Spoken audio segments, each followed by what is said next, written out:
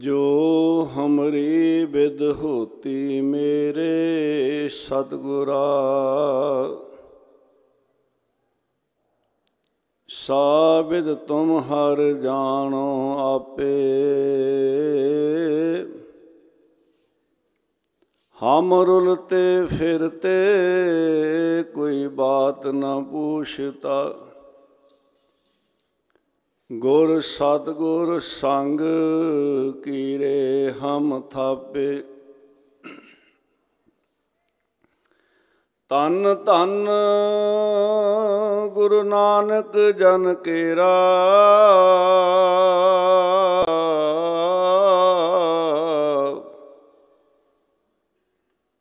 ਜਿਤ ਮਿਲੈ ਚੁਕੇ ਸਭ ਸੋਗ ਸੰਤਾਪੇ। ਸਿੱਖ ਮਤ ਸਭ ਬੁੱਧ ਤੁਮਾਰੀ ਮੰਦਰ ਸ਼ਾਵਾਂ ਤੇਰੇ।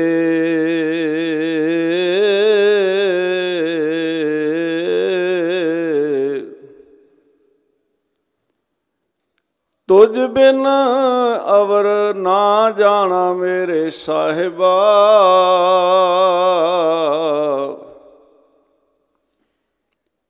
ਗੁਣ ਗਾਵਾਂ ਨਿਤ ਤੇਰੇ।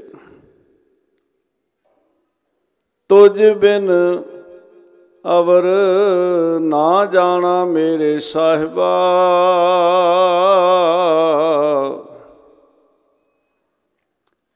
ਗੁਣ ਗਾਵਾਂ ਨਿਤ ਤੇਰੇ। ਵਿਸਰ ਨਾਹੀ ਦਾਤਾਰ ਆਪਣਾ ਨਾਮ ਦੇਹੁ। ਗੁਣ ਗਾਵਾਂ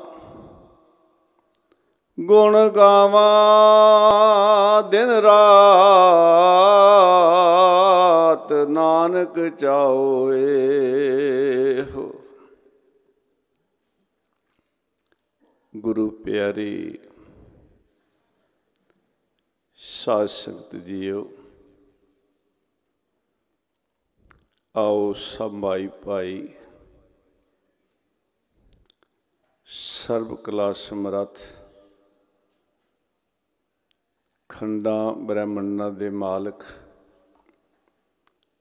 ਗੁਰੂ ਗਰੀਬ ਨਵਾਜ ਤਨ ਤਨ ਗੁਰੂ ਗ੍ਰੰਥ ਸਾਹਿਬ ਮਹਾਰਾਜ ਜੀ ਨੂੰ ਸੀ ਚੁਕਾਈਏ, ਹੱਥ ਜੋੜ ਕੇ ਫਤਿਹ ਦਾ ਸਿਮਰਨ ਕਰੀਏ। ਵਾਹਿਗੁਰੂ ਜੀ ਕਾ ਖਾਲਸਾ, ਵਾਹਿਗੁਰੂ ਜੀ ਕੀ ਫਤਿਹ। ਤਨ ਗੁਰੂ ਗ੍ਰੰਥ ਸਾਹਿਬ ਮਹਾਰਾਜ ਜੀ ਦਾ ਓਟ ਆਸਰਾ ਲੈ ਕੇ ਸਮੂਹ ਸੰਗਤਾਂ ਦੇ ਸਹਿਯੋਗ ਨਾਲ ਇਸ ਪਾਵਨ ਸਥਾਨ ਰਤਵਾੜਾ ਸਾਹਿਬ ਵਿਖੇ ਪੰਜ ਦਿਨ ਦੇ ਮਹਾਨ ਗੁਰਮਤਿ ਸਮਾਗਮ ਰੱਖੇ ਹਨ। ਅੱਜ ਆਪਾਂ ਸਾਰੇ ਚੌਥੇ ਸਮਾਗਮ ਦੀਆਂ ਹਾਜ਼ਰੀਆਂ ਭਰ ਰਹੇ ਹਾਂ। ਅੰਮ੍ਰਿਤ ਵੇਲੇ ਸਿਮਰਨ ਨਿਤਨੇਮ ਤੋਂ ਬਾਅਦ ਮੇਰੇ ਧੰਨ ਗੁਰੂ ਗ੍ਰੰਥ ਸਾਹਿਬ ਮਹਾਰਾਜ ਜੀ ਨੇ ਖੁੱਲੇ ਪੰਡਾਲ ਦੇ ਵਿੱਚ ਸਾਰੀਆਂ ਸੰਗਤਾਂ ਨੂੰ ਦਰਸ਼ਨ ਦੇ ਕੇ ਨਿਹਾਲ ਕੀਤਾ ਹੈ, ਕਿਰਪਾ ਕੀਤੀ ਹੈ। ਬੀਬੀ ਅਜਾਗਰ ਕੌਰ ਜੀ ਦੇ ਜਥੇ ਵੱਲੋਂ ਆਪ ਜੀ ਨੇ ਆਸਾ ਜੀ ਦੀ ਵਾਰ ਦੇ ਗੁਰਬਾਣੀ ਦੇ ਰਸ ਪਿੰਨੇ ਕੀਰਤਨ ਸਰਵਣ ਕੀਤੇ ਹਨ। ਕੱਲ ਨੂੰ ਅੰਮ੍ਰਿਤ ਵੇਲੇ ਬੀਬੀ ਚਰਨਜੀਤ ਕੌਰ ਜੀ ਦੇ ਜਥੇ ਵੱਲੋਂ ਆਸ਼ਾ ਦੀ ਵਾਰ ਹੋਏਗੀ। ਜੋ ਪਿਛਲੀ ਰਾਤ ਉਹਦੇ ਵਿੱਚ ਵੀ ਆਪ ਜੀਆਂ ਨੇ ਸਤਿਗੁਰ ਦੀ ਸ਼ਰਨ ਵਿੱਚ ਬੈਠ ਕੇ ਆਪਣੇ ਸਵਾਸ ਸਫਲੇ ਕੀਤੇ, ਜਿੱਥੇ ਗੁਰੂ ਸੰਗਤ ਨੂੰ ਬਾਬਾ ਹਰਪਾਲ ਸਿੰਘ ਜੀ, ਬਾਬਾ ਗੁਰਪਾਲ ਸਿੰਘ ਜੀ, ਬਾਬਾ ਜਸਵਿੰਦਰ ਸਿੰਘ ਜੀ, ਭਾਈ ਮੱਖਣ ਸਿੰਘ ਜੀ ਮਲੀਲੇ ਵਾਲੇ, ਪ੍ਰਸਿੱਧ ਕਵੀਸ਼ਰ ਜਥਾ ਭਾਈ ਸਾਹਿਬ ਭਾਈ ਮਹਿਲ ਸਿੰਘ ਜੀ ਤੇ ਹੋਰ ਜਥਿਆਂ ਨੇ ਨਿਹਾਲ ਕੀਤਾ ਉੱਥੇ ਅਚੇਚੇ ਤੌਰ ਤੇ ਸ਼੍ਰੀ ਪਟਨਾ ਸਾਹਿਬ ਪਾਵਨ ਸਥਾਨ ਤੋਂ ਉਥੋਂ ਦੇ ਸਿੰਘ ਸਾਹਿਬ ਜਥੇਦਾਰ ਭਾਈ ਸਾਹਿਬ ਭਾਈ ਰਣਜੀਤ ਸਿੰਘ ਜੀ, ਉਹਨਾਂ ਨੇ ਵੀ ਚੇਚੇ ਤੌਰ ਤੇ ਆ ਕੇ ਸੰਗਤਾਂ ਨੂੰ ਗੁਰਮਤਿ ਵਿਚਾਰਾ ਰਾਹੀਂ ਸ਼ਬਦ ਗੁਰੂ ਨਾਲ ਜੋੜਿਆ।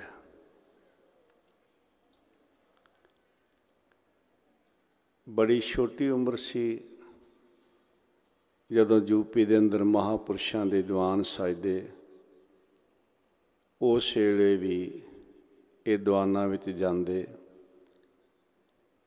ਕੁਝ ਸਮਾਂ 82 83 ਦਾ ਇੱਥੇ ਜਦੋਂ ਭਾਈ ਕੁਲਵੀਰ ਸਿੰਘ ਜੀ ਹੋਰ ਜਥੇ ਵਾਲੇ ਸਨ, ਉਦੋਂ ਵੀ ਇਹ ਭਾਈ ਸਾਹਿਬ ਪਰਨਜੀਤ ਸਿੰਘ ਦੀ ਬੜੀ ਛੋਟੀ ਉਮਰ ਸੀ 14 ਸਾਲ ਦੀ 15 ਦੀ ਇੱਥੇ ਰਹੇ।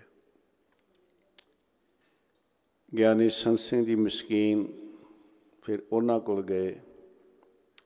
ਤੇ ਅੱਜ ਸਤਿਗੁਰ ਦੀ ਰਹਿਮਤ ਹੋਈ ਹੈ, ਜੋ ਪਟਨਾ ਸਾਹਿਬ ਦੇ ਤਖਤ ਸਾਹਿਬ ਹਨ, ਉਥੋਂ ਦੇ ਸਿੰਘ ਸਾਹਿਬ ਜਥੇਦਾਰ ਸਾਹਿਬ ਨੇ ਕਿਰਪਾ ਕੀਤੀ ਹੈ, ਪਰ ਉਹਨਾਂ ਦੇ ਨਿਮਰਤਾ ਤੇ ਪਿਆਰ ਹੈ, ਇਸ ਸਥਾਨ ਦਾ ਮਹਾਪੁਰਸ਼ਾਂ ਦਾ ਸਤਕਾਰ ਹੈ।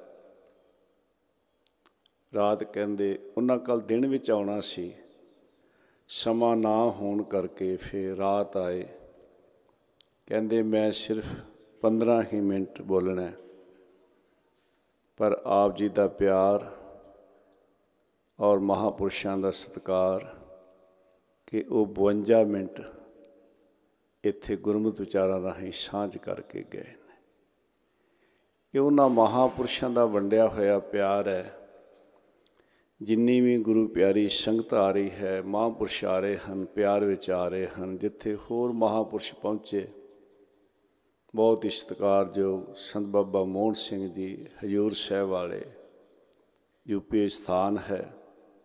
ਚੇਚੇ ਤੌਰ ਤੇ ਭਾਵੇਂ ਬਹੁਤ ਬਿਜ਼ੀ ਹਨ, ਇੱਕ ਪਿਆਰ ਐਸਾ ਕਿ ਰਾਤ ਪਹੁੰਚੇ ਨੇ, ਅੱਜ ਦਿਨੇ ਦਰਸ਼ਨ ਦੇਣਗੇ। ਹੋਰ ਵੀ ਮਹਾਪੁਰਸ਼ ਆ। ਰਹੇ ਹਨ ਸੋ ਇਹ ਜੋ ਮਹਾਪੁਰਸ਼ਾਂ ਨੇ ਸ਼ਬਦ ਗੁਰੂ ਨਾਲ ਜੋੜਿਆ ਪਿਆਰ ਵੰਡਿਆ ਔਰ ਸਾਰੀ ਸੰਗਤ ਦੇਸ਼ ਦੇਸ਼ਾਂ ਤੋਂ ਇੱਥੇ ਪਿਆਰ ਵਿੱਚ ਹੀ ਸਾਧ ਸੰਗਤ ਦੀ ਪਹੁੰਚੀ ਹੈ। ਆਪ ਜੀ ਅੰਮ੍ਰਿਤ ਵੇਲਾ ਸੰਭਾਲ ਰਹੇ ਹੋ। 84 ਲੱਖ ਜੂਨ ਦੇ ਅੰਦਰ ਮਨੁੱਖ ਜਨਮ ਅੰਮ੍ਰਿਤ ਵੇਲਾ ਹੈ। 83 ਲੱਖ 99999 ਜੂਨਾ ਉਹਨਾਂ ਨੂੰ ਭੁਗਤਨ ਜੂਨਾ ਮੰਨਿਆ ਗਿਆ। ਮਨੁੱਖ ਜਨਮ ਭੁਗਤਨ ਜੂਨੀ ਵੀ ਹੈ ਤੇ ਕਰਮ ਜੂਨੀ ਵੀ ਹੈ। ਬਾਕੀ ਜੂਨਾ ਵਿੱਚ ਤਰੱਕੀ ਨਹੀਂ।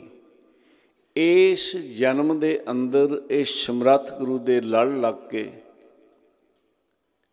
ਸਤਿਗੁਰੂ ਦੇ ਬਖਸ਼ੇ ਹੋਏ ਨਾਮ ਦੀ ਕਮਾਈ ਕਰਕੇ ਉਸ ਅੰਮ੍ਰਿਤ ਦੀ ਪ੍ਰਾਪਤੀ ਕਰ ਸਕਦਾ ਹੈ, ਜਿਸ ਬਾਰੇ ਸਹਿਬ ਕਹਿੰਦੇ ਨੇ, ਅੰਮ੍ਰਿਤ ਪੀਵੇ ਅਮਰ ਸੋ ਹੋਏ। ਇਹ ਮਨੁੱਖ ਜਨਮ ਵਿੱਚ ਹੀ ਬਖਸ਼ਿਸ਼ ਹੁੰਦੀ ਹੈ। ਮਨੁੱਖ ਜਨਮ ਅੰਮ੍ਰਿਤ ਵੇਲਾ, ਉਸ ਅੰਮ੍ਰਿਤ ਦੀ ਪ੍ਰਾਪਤੀ ਵਾਸਤੇ ਗੁਰੂ ਘਰ ਵਿੱਚ ਪਹਿਲਾਂ ਅੰਮ੍ਰਿਤ ਛਕਾਇਆ ਜਾਂਦਾ ਹੈ, ਅੰਮ੍ਰਿਤ ਦੀ ਦਾਤ ਮਿਲਦੀ ਹੈ। ਤੇ ਫਿਰ ਉਸ ਬ੍ਰਹਮ ਗਿਆਨ ਅੰਮ੍ਰਿਤ ਦੀ ਪ੍ਰਾਪਤੀ ਵਾਸਤੇ ਅੰਮ੍ਰਿਤ ਵੇਲੇ ਜਾਗਣਾ ਕਰ ਇਸ਼ਨਾਨ, ਸਿਮਰ ਪ੍ਰਭ ਆਪਣਾ ਮਨ ਤਨ ਭੇ ਰੋਗਾ। ਗੁਰੂ ਕੇ ਪਿਆਰੇ ਅੰਮ੍ਰਿਤ ਵੇਲਾ ਸੰਭਾਲਦੇ ਹੈ ਤੇ ਜਿਨ੍ਹਾਂ ਨੇ ਅੰਮ੍ਰਿਤ ਵੇਲਾ ਸੰਭਾਲ ਲਿਆ, ਉਹਨਾਂ ਦਾ ਸਾਰਾ ਸਮਾਂ ਹੀ ਫਿਰ ਅੰਮ੍ਰਿਤ ਵੇਲਾ ਬਣ ਜਾਂਦਾ ਹੈ। ਕਿਉਂਕਿ ਊਠਤ ਬੈਠਤ ਸੋਵਤ ਨਾਮ, ਕਹੋ ਨਾਨਕ ਜਨ ਕੈ ਸਦ ਕਾਮ। ਪਿੰਨੀ ਰੈਣੜੀਏ ਚਮਕਣ ਤਾਰੇ ਜਾਗਣ ਸੰਜਨਾ ਮੇਰੇ RAM ਪਿਆਰੇ। ਸੰਸਾਰ ਮੋਹ ਮਾਇਆ ਦੀ ਨੀਂਦ ਵਿੱਚ ਕੂਕ ਸੁੱਤਾ ਹੋਇਆ ਤੇ ਇਹ ਗੁਣੀ ਸੰਸਾਰ ਪਰਮ ਸੁੱਤਾ, ਸੁੱਤਿਆ ਰਹਿਣ ਵਿਹਾਣੀ। ਇਹਦੇ ਵਿੱਚ ਦੇਵਤੇ ਵੀ ਆ ਜਾਂਦੇ ਆ। ਇਹ ਜੀਵ ਰੂਪੀ ਰਹਿਣ, ਸੰਸਾਰ ਸੁੱਤਾ ਹੋਇਆ ਤੇ ਵਾਹਿ ਦੇ ਪਿਆਰੇ ਜਾਗਦੇ ਨੇ, ਉਹ ਸਦਾ ਹੀ ਜਾਗਦੇ ਨੇ। ਪੀਨੀ, ਰੈਣੜੀ, ਚਮਕਣ ਤਾਰੇ, ਜਾਗਣ ਸੰਜਨਾ ਮੇਰੇ RAM ਪਿਆਰੇ RAM ਪਿਆਰੇ, ਸਦਾ ਜਾਗੈ ਨਾਮ ਸਿਮਰੈ ਅੰਦਨੋ ਚਰਨ ਕਮਲ ਧਿਆਨ ਹਿਰਦੈ, ਪ੍ਰਭ ਬਿਸਰ ਨਾਹੀ ਇੱਕ ਖਿਨੋ। ਸਦਾ ਹੀ ਇੱਕ ਖਿਨ ਵੀ ਉਹਨਾਂ ਨੂੰ ਮਾਲਕ ਨਹੀਂ ਵਿਸਰਦਾ। ਊਠ ਤੇ ਬੈਠ ਤੇ ਸੋਤ ਨਾਮ ਕਹੋ ਨਾਨਕ ਜਨ ਕੈ ਸਦ ਕਾਮ, ਸਦਾ ਹੀ ਫਿਰ ਅੰਮ੍ਰਿਤ ਵੇਲਾ ਬਣ ਜਾਂਦਾ ਤੇ ਉਸ ਮਾਲਕ ਦੀ ਰਹਿਮਤ ਹੁੰਦੀ ਹੈ, ਸਤਿਗੁਰ ਦੀ ਕਿਰਪਾ ਹੁੰਦੀ ਹੈ। ਉਹ ਅੰਮ੍ਰਿਤ ਨੌਨ, ਅੰਮ੍ਰਿਤ ਪ੍ਰਭ ਕਾ ਨਾਮ, ਦੇਹੀ ਮੈਂ ਇਸਕਾ ਬਿਸਰਾਮ। ਉਸ ਅੰਮ੍ਰਿਤ ਦੀ ਜਦੋਂ ਪ੍ਰਾਪਤੀ ਹੋ ਗਈ, ਅੰਮ੍ਰਿਤ ਪੀਵੇ, ਅੰਮ੍ਰਿਤ ਸੋ ਹੋਏ। ਸੋ ਆਪ ਜੀ ਆਪਾਂ ਸਾਰੇ ਉਸ ਅਰਦਾਸ ਵਿੱਚ ਜੁੜੇ ਹੋਏ ਆ ਤੇ ਅੰਮ੍ਰਿਤ ਵੇਲਾ ਸੰਭਾਲਣ ਵਾਸਤੇ ਅਰਦਾਸ ਕਰ ਰਹੇ ਹਾਂ। ਪੰਜ ਦਿਨ ਦੇ ਸਮਾਗਮ ਜਿਹਦੇ ਅੰਦਰ ਪਹਿਲੇ ਦਿਨ ਸਮੂਹ ਸ਼ਹੀਦਾਂ ਨੂੰ ਪ੍ਰਣਾਮ ਪ੍ਰਣਾਮ ਸ਼ਹੀਦਾਂ ਨੂੰ ਜਿਨ੍ਹਾਂ ਨੇ ਆਪਣਾ ਆਪ ਸੰਸਾਰ ਦੇ ਭਲੇ ਵਾਸਤੇ, ਧਰਮ ਵਾਸਤੇ, ਕੌਮ ਵਾਸਤੇ, ਦੇਸ਼ ਵਾਸਤੇ ਵਾਰਿਆ ਜਿਹੜੇ ਗੁਰੂ ਕੇ ਪਿਆਰੇ ਹਨ, ਇਹਨਾਂ ਦੇ ਅੰਦਰ ਮੇਰੇ ਮਾਲਕ ਨੇ ਜਿੱਥੇ ਬੇਅੰਤ ਬਖਸ਼ਾਂ ਕੀਤੀਆਂ ਨੇ,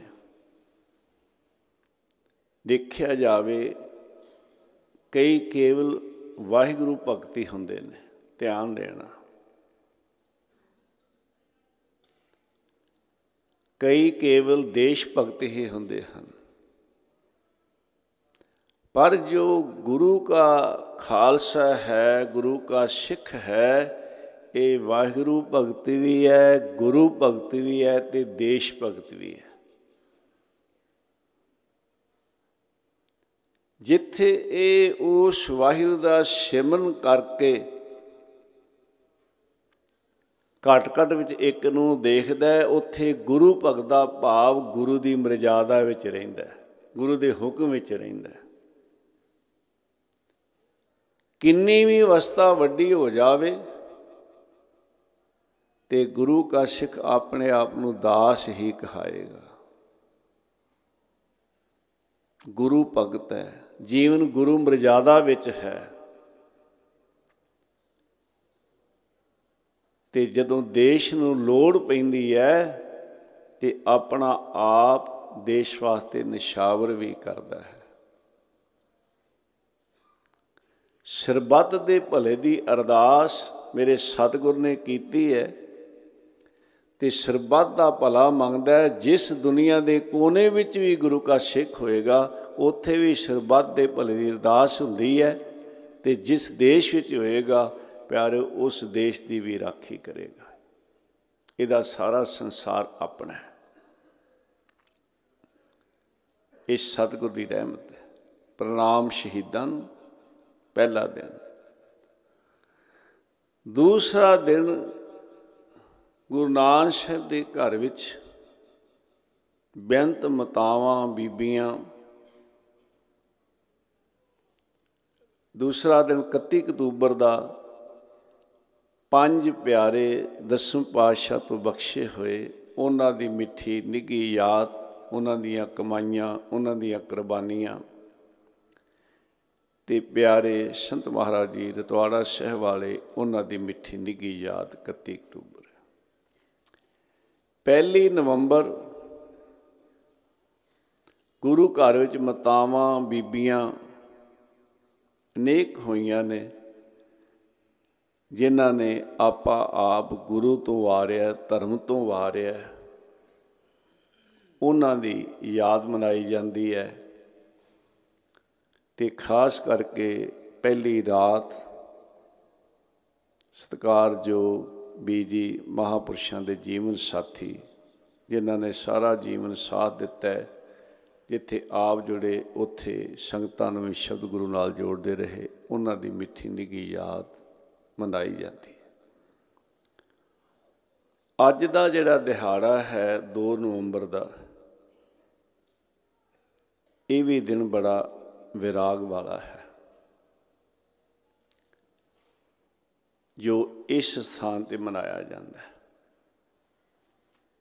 ਉਹ ਦਿਨ ਮਨਾਇਆ ਜਾਂਦਾ ਹੈ ਜਦੋਂ ਮੇਰੇ ਸਰਬੰਸ ਦਾਨੀ ਸਤਿਗੁਰ ਸੱਚੇ ਪਾਤਸ਼ਾਹ ਦਸ਼ਮੇਸ਼ ਪਿਤਾ ਪੁੱਤਰਾਂ ਦੇ ਦਾਨੀ। ਆਪ ਜੀ ਨੇ ਪੰਜ ਭੂਤ ਸਰੀਰ ਦਾ ਤਿਆਗ ਕਰਨ ਦਾ, ਤਿਆਗ ਕਰਨ ਦੇ ਤਿਆਰੇ ਕੀਤੇ ਨੇ। ਤੇ ਖਾਲਸੇ ਦੀ ਬੇਨਤੀ ਪ੍ਰਵਾਨ ਕਰਕੇ ਗੁਰੂ ਗ੍ਰੰਥ ਸਾਹਿਬ ਮਹਾਰਾਜ ਜੀ ਨੂੰ ਗਿਰਿਆਈ ਦੇ ਰਹੇ ਨੇ। ਉਹ ਦਿਹਾੜਾ ਅੱਜ ਦੇ ਦਿਨ ਸਾਧ ਸੰਗਤ ਜੀ ਮਨਾਇਆ ਜਾਂਦਾ ਹੈ। ਅੱਜ ਸਾਰੇ ਮਹਾਪੁਰਸ਼ਾਂ ਨੇ, ਸਾਰੇ ਗੁਰਮੁਖਾਂ ਨੇ, ਬੁਲਾਰਿਆਂ ਨੇ ਸਾਨੂੰ ਸਾਡੀਆਂ ਝੋਲੀਆਂ ਵਿੱਚ ਉਹ ਬਚਨ ਪਾਉਣੇ ਨੇ ਕਿ ਅਸੀਂ ਧੰਨ ਗੁਰੂ ਗੋਬਿੰਦ ਸਿੰਘ ਮਹਾਰਾਜ ਦੇ ਹੁਕਮ ਨੂੰ ਮੰਨ ਸਕੀਏ, ਉਪਦੇਸ਼ ਨੂੰ ਮੰਨ ਸਕੀਏ, ਹਿਰਦੇ 'ਚ ਵਸਾ ਸਕੀਏ ਕਿ ਸਾਡੇ ਸਤਿਗੁਰੂ ਧੰਨ ਗੁਰੂ ਗ੍ਰੰਥ ਸਾਹਿਬ ਮਹਾਰਾਜ ਜੀ ਹਨ। ਆਗਿਆ ਪਈ ਅਕਾਲ ਕੀ ਤਬੈ ਚਲਾਇਓ ਪੰਥ, ਸਭ ਸਿੱਖਣ ਕੋ ਹੁਕਮ ਹੈ ਗੁਰੂ ਮਾਨਿਓ ਗ੍ਰੰਥ। ਆਓ ਆਪਣੀਆਂ ਸੁਰਤੀਆਂ ਨੂੰ ਹਜੂਰ ਸਾਹਿਬ ਦੇ ਪਾਵਨ ਸਥਾਨ ਤੇ ਲੈ ਕੇ ਚੱਲੀਏ। ਧੰਨ ਸਤਿਗੁਰੂ, ਰਹਿਮਤਾਂ ਕਰਨ ਵਾਲੇ ਇਸ ਸੰਸਾਰ ਦੇ ਭਲੇ ਵਾਸਤੇ ਸਭ ਕੁਝ ਕੁਰਬਾਨ ਕਰਨ ਵਾਲੇ, ਉਸ ਕਾਲ ਪ੍ਰਭੂ ਦਾ ਸ਼ੁਕਰਾਨਾ ਕਰਨ ਵਾਲੇ ਮੇਰੇ ਸਹਿਬ ਬੈਠੇ ਨੇ ਤੇ ਸਾਹਮਣੇ ਗੁਰੂ ਕਾ ਖਾਲਸਾ, ਗੁਰੂ ਕੀ ਸੰਗਤ ਬੈਠੀ ਹੈ। ਆਪਾਂ ਵੀ ਉਹਨਾਂ ਦੇ ਜੋੜਿਆਂ ਵਿੱਚ ਬਹਿ ਜਾਈਏ। ਮੇਰੇ ਸਹਿਬ ਕਹਿਣ ਲੱਗੇ, ਖਾਲਸਾ ਜੀ, ਅਕਾਲ ਪੁਰਖ ਵਾਹਿ ਦੇ ਹੁਕਮ ਨਾਲ ਅਸੀਂ ਇਸ ਸੰਸਾਰ ਤੇ ਆਏ। ਜੋ ਸਾਨੂੰ ਹੁਕਮ ਹੋਇਆ, ਅਸੀਂ ਉਹ ਕੀਤਾ। ਧਰਮ ਚਲਾਵਨ ਸੰਤ ਉਬਾਰਨ, ਦੁਸ਼ਟ ਸਭਨ ਕੋ ਮੂਲ ਉਪਾਰਨ। ਮੇਰੇ ਸਾਹਿਬ ਨੇ ਕੋਈ ਵੀ ਅਧੂਰਾ ਕਾਰਜ ਨਹੀਂ ਛੱਡਿਆ, ਧਿਆਨ ਦੇਣਾ। ਕੋਈ ਇਹ ਨਹੀਂ ਕਿ ਆ ਰਹਿ ਗਿਆ, ਨਹੀਂ ਨਹੀਂ। ਜਿਸ ਵੇਲੇ ਤੋਂ ਸੰਸਾਰ ਤੇ ਪ੍ਰਗਟ ਹੋਏ ਨੇ, ਹਰ ਕਾਰਜ ਮੇਰੇ ਸਾਹਿਬ ਨੇ ਸੰਪੂਰਨ ਕੀਤਾ ਹੈ ਪਿਆਰਿਓ। ਹਰ ਕਾਰਜ। ਸਾਹਿਬ ਕਹਿੰਦੇ ਅਸੀਂ ਉਸ ਪਰਮੇਸ਼ਰ ਵਾਹਿਦੇ ਹੁਕਮ ਵਿੱਚ ਇਸ ਸੰਸਾਰ ਤੇ ਆਏ ਤੇ ਜੋ ਸਾਨੂੰ ਹੁਕਮ ਹੋਇਆ ਉਹ ਅਸੀਂ ਕੀਤਾ ਹੁਣ ਹੁਕਮ ਦੇ ਵਿੱਚ ਹੀ ਅਸੀਂ ਪੰਜ ਭੂਤ ਸਰੀਰ ਦਾ ਤਿਆਗ ਕਰਨਾ ਹੈ।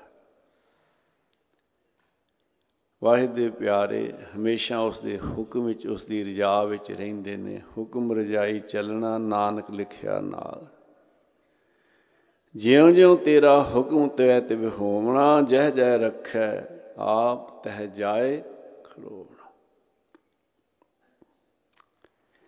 ਇਹ ਬਚਨ ਸੁਣਦਿਆਂ ਸਾਰ ਗੁਰਸਿੱਖਾਂ ਦੇ ਨੇਤਰਾਂ ਚੋਂ ਪਾਪ ਖਾਸ ਦੇ ਨੇਤਰਾਂ ਚੋਂ ਪਿਆਰ ਦਾ ਜਲ ਵਹਿਤ ਰਿਹਾ। ਬੇਨਤੀ ਕਰਾਂ, ਇੱਕ ਆਮ ਰੋਣਾ ਹੁੰਦਾ ਹੈ। ਜਿਹੜਾ ਸੰਸਾਰੀ ਰੋਣਾ ਹੈ ਉਹ ਮਨੁੱਖ ਦੇ ਅੰਦਰ ਨੂੰ ਕਮਜ਼ੋਰ ਕਰਦਾ ਹੈ ਤੇ ਕਾਲਾ ਕਰ ਦਿੰਦਾ ਹੈ। ਤੇ ਜਿਹੜੇ ਉਸ ਮਾਲਕ ਦੇ ਪਿਆਰ ਵਿੱਚ ਨੇਤਰਾਂ ਚੋਂ ਹੰਝੂ ਆਉਂਦੇ ਨੇ ਨਾ, ਉਹ ਸਾਡੇ ਜਨਮਾਂ ਜਨਮਾਂ ਦੀ ਮੈਲ ਧੋ ਦਿੰਦੇ ਪਿਆਰੇ ਦਿਖਾਵਾ ਨਾ ਹੋਵੇ, ਸੱਚ ਹੋਵੇ।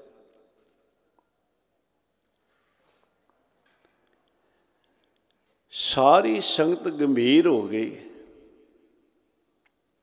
ਤੇ ਸਹਿਬ ਦੇ ਪਰਪਕਾਰ ਯਾਦ ਕਰ ਕਰਕੇ ਨਮਸਕਾਰਾਂ ਕਰ ਦਾਸ ਕਈ ਵਾਰ ਬੇਨਤੀ ਕਰਦਾ ਆਮ ਕਿਸੇ ਦਾ ਬਜ਼ੁਰਗ ਚੜਾਈ ਕਰਨ ਲੱਗੇ ਤੇ ਕਹਿੰਦੇ, ਸਾਡੇ ਬਾਪੂ ਨੇ ਸਾਡੇ ਵਾਸਤੇ ਬੜਾ ਕੁਝ ਕੀਤਾ ਹੈ, ਬੜੇ ਦੁੱਖ ਕੱਟੇ ਨੇ, ਸਾਨੂੰ ਜ਼ਮੀਨ ਬਣਾ ਕੇ ਦਿੱਤੀ ਹੈ, ਫੈਕਟਰੀਆਂ ਬਣਾ ਕੇ ਦਿੱਤੀਆਂ ਨੇ, ਬੜਾ ਪੈਸਾ ਦਿੱਤਾ ਹੈ। ਪਰ ਪਿਆਰਿਓ, ਅੱਜ ਸੰਸਾਰ ਦਾ ਬਾਪੂ ਸਰਬੱਤ ਦਾ ਭਲਾ ਮੰਗਣ ਵਾਲਾ, ਸਭ ਕੁਝ ਕੁਰਬਾਨ ਕਰਨ ਵਾਲਾ ਤੇ ਉਹਨਾਂ ਦੇ ਪਰਪਕਾਰ ਕੇ ਉਹਨਾਂ ਯਾਦ ਆਉਣ?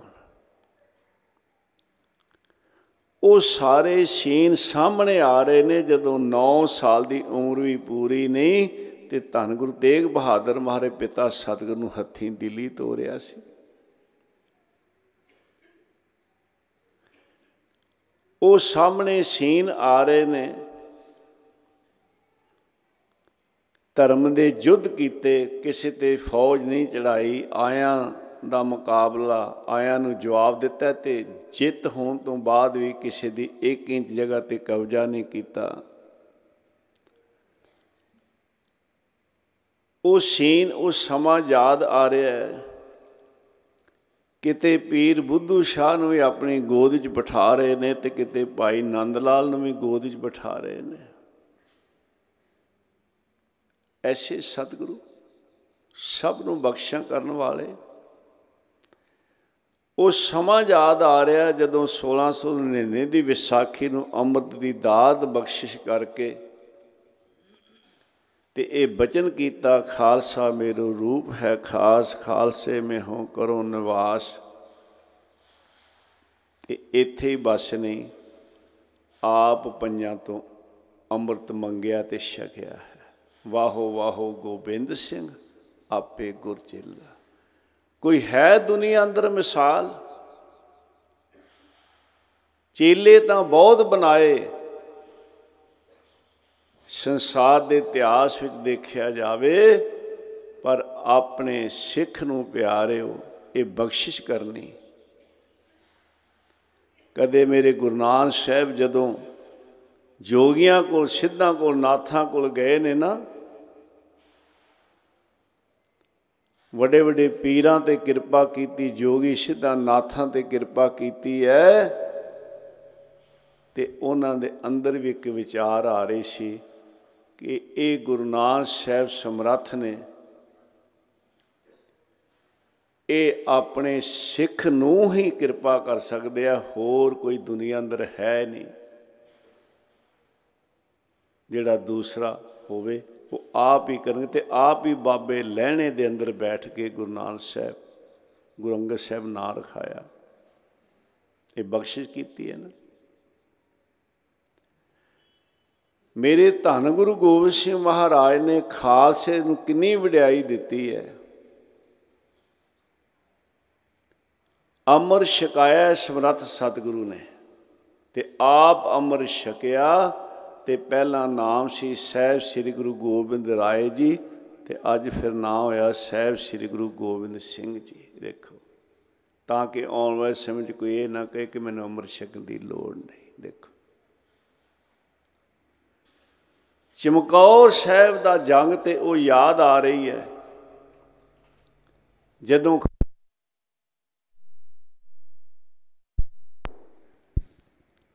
ਖਾਲਸੇ ਨੂੰ ਪਾਤਸ਼ਾਹੀ ਬਖਸ਼ਿਸ਼ ਕਰਕੇ ਆਪ ਜੀ ਉੱਥੋਂ ਗਏ ਨੇ। ਉਹ ਸਮਾਂ ਯਾਦ ਆ ਰਿਹਾ ਸਾਬੋ ਕੀ ਤਲਵੰਡੀ ਸ਼੍ਰੀ ਦਮਦਮਾ ਸਾਹਿਬ ਵਾਲਾ, ਜਦੋਂ ਮਾਤਾ ਸੁੰਦਰ ਕੌਰ ਤੇ ਮਾਤਾ ਸਹਿਬ ਕੌਰ ਜੀ ਨੇ ਪੁੱਛਿਆ ਸੀ, ਸੱਚੇ ਪਾਤਸ਼ਾਹ,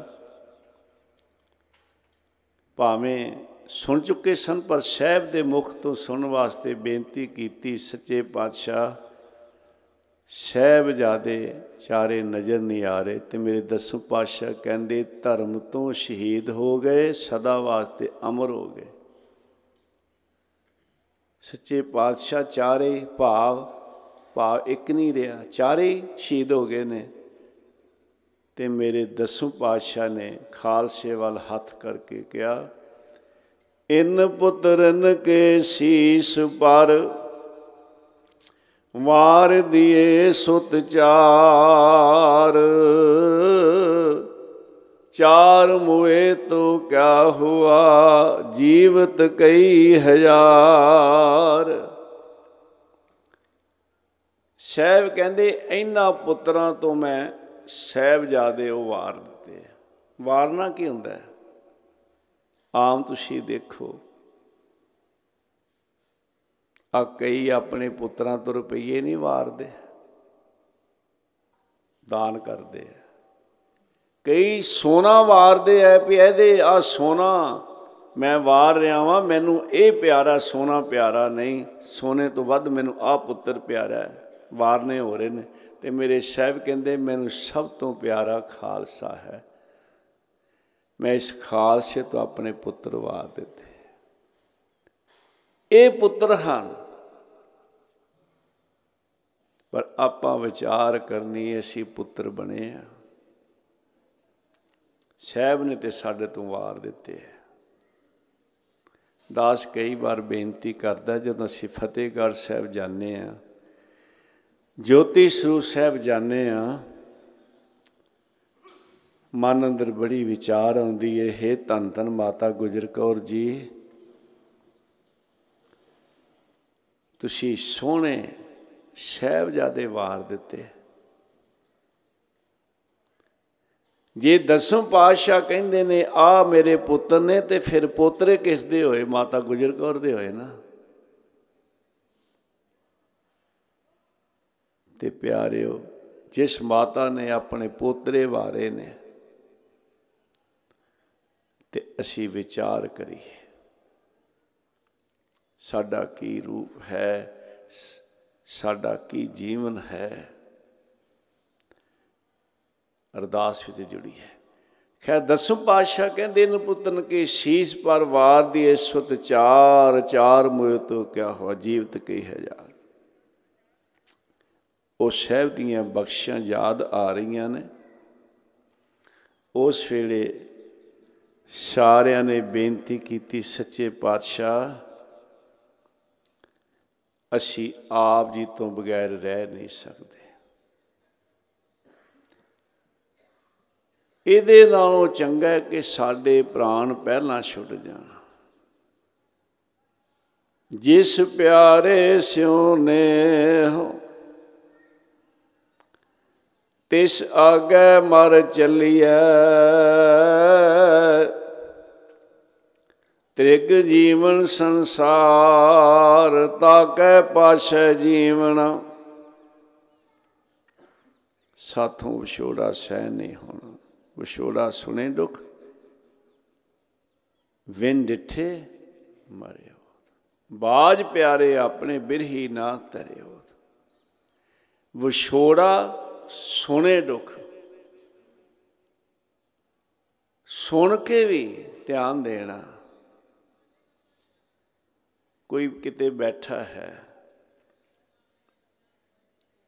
ਫੋਨ ਆ ਗਿਆ ਕਿ ਤੁਹਾਡਾ ਭਰਾ ਚੜਾਈ ਕਰ ਗਿਆ, ਤੁਹਾਡਾ ਪੁੱਤਰ ਚੜਾਈ ਕਰ ਗਿਆ, ਕਿਸੇ ਦਾ ਜਾਂ ਪਤੀ ਚੜਾਈ ਕਰ ਗਿਆ, ਪਿਤਾ ਚੜਾਈ ਕਰ ਗਿਆ। ਸਿਰਫ ਸੁਣਿਆ ਹੀ ਹੈ ਨਾ। ਤੇ ਇੱਕ ਸ਼ਬਦ ਐਸਾ ਸੁਣਦੇ ਨਾਲ ਕੀ ਹਾਲ ਹੋ ਜਾਂਦਾ ਅਜੇ ਸਾਹਮਣੇ ਦੇਖਣਾ, ਸਾਹਮਣੇ ਹੋਣਾ ਤਾਂ ਗੱਲ ਬਾਤ ਦੀ ਹੈ। ਸੁਣ ਕੇ ਵੀ ਨਹੀਂ ਨਹੀਂ ਸਹਾਰਿਆ ਜਾਂਦਾ, ਕਈਆਂ ਦੇ ਪ੍ਰਾਣ ਛੁੱਟ ਜਾਂਦੇ ਪਿਆਰਿਓ। ਵਿਛੋੜਾ ਸੁਣੇ ਲੋਕ। ਵਿੰਨ ਡਿਠੇ ਮਰੇ ਓਦ ਬਾਜ ਪਿਆਰੇ ਆਪਣੇ, ਬਿਰਹੀ ਨਾ ਤਰਿਓ। ਤੇ ਸੱਚੇ ਪਾਤਸ਼ਾਹ ਤੁਸੀਂ ਦੇ ਸਾਹਮਣੇ ਹੁਣ ਤਿਆਰੇ ਕਰ ਲੈ ਅਸੀਂ ਆਪ ਜੀ ਤੋਂ ਬਗੈਰ ਰਹਿ ਨਹੀਂ ਸਕਦੇ। ਉਸ ਵੇਲੇ ਧੰਨ ਗੁਰੂ ਗੋਬਿੰਦ ਸਿੰਘ ਮਹਾਰਾਜ ਜੀ ਨੇ ਸਭ ਨੂੰ ਪਿਆਰ ਦੇ ਨਾਲ ਕੋਲ ਬਿਠਾਇਆ। ਭਾਈ ਸਾਹਿਬ, ਭਾਈ ਕਵੀ ਸੰਤੋਖ ਸਿੰਘ ਜੀ ਲਿਖਦੇ ਨੇ, ਤਬ ਸਾਦਰ ਸਭ ਨਿਕਟ ਬਿਠਾਰੇ ਨਿਕਟ ਨੇੜੇ ਦੇਖੋ, ਪਿਆਰ ਨਾਲ। ਜਿਵੇਂ ਮਾਤਾ ਪਿਤਾ ਆਪਣੇ ਬੱਚਿਆਂ ਨੂੰ ਗੋਦ 'ਚ ਬਿਠਾਉਂਦੇ ਆ, ਉਹ ਨੇੜੇ ਸਭ ਨੂੰ ਪਿਆਰ ਨਾਲ ਬਿਠਾ ਕੇ ਕਿਵੇਂ ਦਿਲਾਸਾ ਦੇ ਰਹੇ ਨੇ।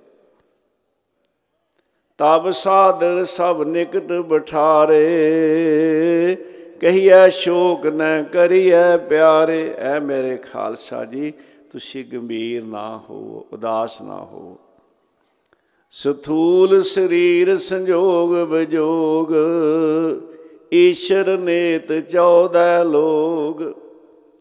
ਇਹ ਜਿਹੜਾ ਪੰਜ ਤਤ ਦਾ ਸਰੀਰ ਹੈ ਨਾ ਅਥੂ ਸਰੀਰ, ਇਹਦਾ ਸੰਯੋਗ ਵੀ ਹੈ, ਵਿਜੋਗ ਵੀ ਹੈ, ਮਲਾਪ ਵੀ ਹੈ, ਵਿਛੋੜਾ ਵੀ ਹੈ।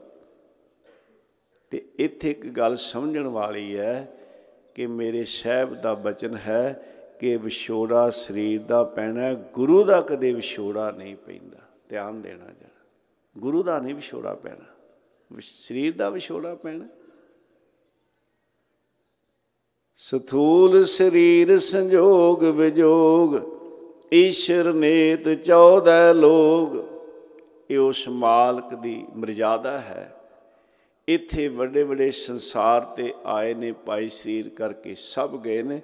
ਤੇ ਮੇਰੇ ਦਸਮ ਪਾਤਸ਼ਾਹ ਆਪਣੀ ਬਾਣੀ ਵਿੱਚ ਇੱਕ ਜਗ੍ਹਾ ਫਰਮਾਨ ਕਰਦੇ ਨੇ, ਏਕ ਸ਼ਿਵ ਭਏ, ਏਕ ਗਏ, ਏਕ ਫੇਰ ਪਏ ਆਮ ਜਦੋਂ ਅਸੀਂ ਇਤਿਹਾਸ ਪੜ੍ਹਨੇ ਆ, ਅਸੀਂ ਇੱਕ ਬਰਮਾ ਜੀ ਦੇ ਬਾਰੇ ਪੜ੍ਹਦੇ ਸੁਣਨੇ ਆ, ਇੱਕ ਸ਼ਿਵ ਜੀ ਦੇ ਬਾਰੇ ਪੜ੍ਹਦੇ ਸੁਣਨੇ ਆ, ਇੱਕ ਵਿਸ਼ਨੂੰ ਜੀ ਦੇ ਬਾਰੇ ਪੜ੍ਹਦੇ ਸੁਣਨੇ ਆ ਇੱਕ ਸ਼੍ਰੀ ਰਾਮਚੰਦਰ ਜੀ ਦੇ, ਇੱਕ ਭਗਵਾਨ ਸ੍ਰੀ ਕ੍ਰਿਸ਼ਨ ਜੀ ਦੇ ਬਾਰੇ ਅਸੀਂ ਇਤਿਹਾਸ ਤੇ ਪੜ੍ਹਦੇ ਸੁਣਨੇ ਆ ਪਰ ਮੇਰੇ ਦਸਮ ਪਾਤਸ਼ਾਹ ਕਹਿੰਦੇ ਨੇ, ਏਕ ਸ਼ਿਵ ਭਏ, ਏਕ ਗਏ, ਏਕ ਫੇਰ ਪਏ ਰਾਮਚੰਦਰ ਕ੍ਰਿਸ਼ਨ ਕੇ ਅਵਤਾਰ ਵੀ ਅਨੇਕ ਹੈ ਬਰਮਾਓ ਬਿਸ਼ਨ ਕੇਤੇ ਬੇਦਿਓ ਪੁਰਾਨ ਕੇਤੇ। ਸਿਮਰਤ ਸਮੋਹਨ ਕੈ ਹੋਏ ਹੋਏ ਬਤਏ ਹੈ। ਮੋਨ ਦੀ ਮਦਾਰ ਕੀਤੇ, ਅਸ਼ਨੀ ਕੁਮਾਰ ਕੀਤੇ। ਅੰਸਾ ਅਵਤਾਰ ਕੀਤੇ, ਕਾਲ ਬਸ ਭੇ ਹੈ। ਪੀਰ ਪੀਰੋ ਪਕੰਬਰ ਕੀਤੇ, ਗਨੇ ਨਾ ਪਰਤ ਇਤੇ ਭੂਮ ਹੀ ਤੈ ਹੋਏ ਕੈ ਫਿਰ ਭੂਮ ਹੀ ਮਲੇ ਹੈ। ਸਾਹਿਬ ਕਹਿੰਦੇ, ਭਾਈ, ਉਹਨਾਂ ਦੀ ਗਿਣਤੀ ਨਹੀਂ ਕਿੰਨੀ। ਇਹ ਹੁਕਮ ਹੈ, ਰਜਾ ਹੈ ਉਸ ਦੀ ਸਥੂਰ ਸਰੀਰ, ਸੰਜੋਗ ਵਿਜੋਗ, ਈਸ਼ਰ ਨੇਤ 14 ਲੋਗ। ਇਹ ਬਚਨ ਸੁਣ ਕੇ ਸਾਰਿਆਂ ਨੇ ਹੱਥ ਜੋੜ ਕੇ ਕਿਹਾ, ਸੁਨਤ ਖਾਲਸੇ ਕੀਨ ਸੇ ਬਿਨਤੀ। ਸ੍ਰੀ ਪ੍ਰਭ ਹਮ ਸਭ ਕੇ ਮਨ ਗਿਣਤੀ। ਸੱਚੇ ਪਾਤਸ਼ਾਹ ਸਾਡੇ ਸਾਰਿਆਂ ਦੇ ਅੰਦਰ ਵਿਚਾਲ ਚੱਲ ਰਹੀ ਹੈ। ਨੌ ਪਾਤਸ਼ਾਹ ਅੰਤ ਕੋ ਸਾਰੇ, ਸੰਗਤ ਲਰ ਪਕਰਾਏ ਉਦਾਰੇ। ਗੁਰੂ ਨਾਨਕ ਸਾਹਿਬ ਤੋਂ ਲੈ ਕੇ ਨੌਵੇਂ ਸਤਿਗੁਰ ਤੱਕ ਜਦ ਬਾਣਾ ਵਰਤਾਉਣ ਲੱਗਦੇ, ਸੰਗਤ ਨੂੰ ਗੁਰੂ ਦਾ ਪੱਲਾ ਫੜਾ ਕੇ ਜਾਂਦੇ। ਕਿਹ ਕੇ ਕਰ ਅਲੰਬ ਕੋ ਚਲੇ ਪੰਥ ਖਾਲਸਾ ਤੁਮਰੋ ਭਲੇ, ਜਿਸ ਖਾਲਸੇ ਤੇ ਏਡੀਆਂ ਤੁਸਾਂ ਬਖਸ਼ਾਂ ਕੀਤੀਆਂ, ਜਿਸ ਖਾਲਸੇ ਨੂੰ ਤੁਸੀਂ ਗੋਦੀ 'ਚ ਬਿਠਾ ਕੇ ਆਪਣੇ ਗੋਦੀ ਦੇ ਪੁੱਤਰ ਵਾਰ ਦਿੱਤੇ, ਕਿਹਦੇ ਲੜ ਲਾ ਕੇ ਜਾ ਰਹੇ ਹੋ, ਕਿਹਦੇ ਸਹਾਰੇ ਛੱਡ ਕੇ ਜਾ ਰਹੇ ਹੋ? ਪਗਰਾਵਤ ਲੜ ਗੁਰ ਰਹੇ ਪੂਰਬ ਲਹਿਰ, ਪਹਿਲੇ ਸਤਿਗੁਰੂ ਲੜ ਲਾ ਕੇ ਜਾਂਦੇ। ਨਿਜ ਤਨ ਤਜਨੇ ਕੇ ਸਮੇਂ ਦੂਸਰੇ ਗੁਰ ਕੇਰੋ। ਸਰੀਰ ਤਿਆਗਣ ਤੋਂ ਪਹਿਲਾਂ ਦੂਸਰੇ ਗੁਰ ਦੇ ਲੜ ਲਾ ਕੇ ਜਾਂਦੇ। ਆਪ ਜੀ ਕਿਰਪਾ ਕਰੋ। ਕਿਸ ਦੇ ਲੜ ਲਾ ਕੇ ਜਾ ਰਹੇ ਹੋ?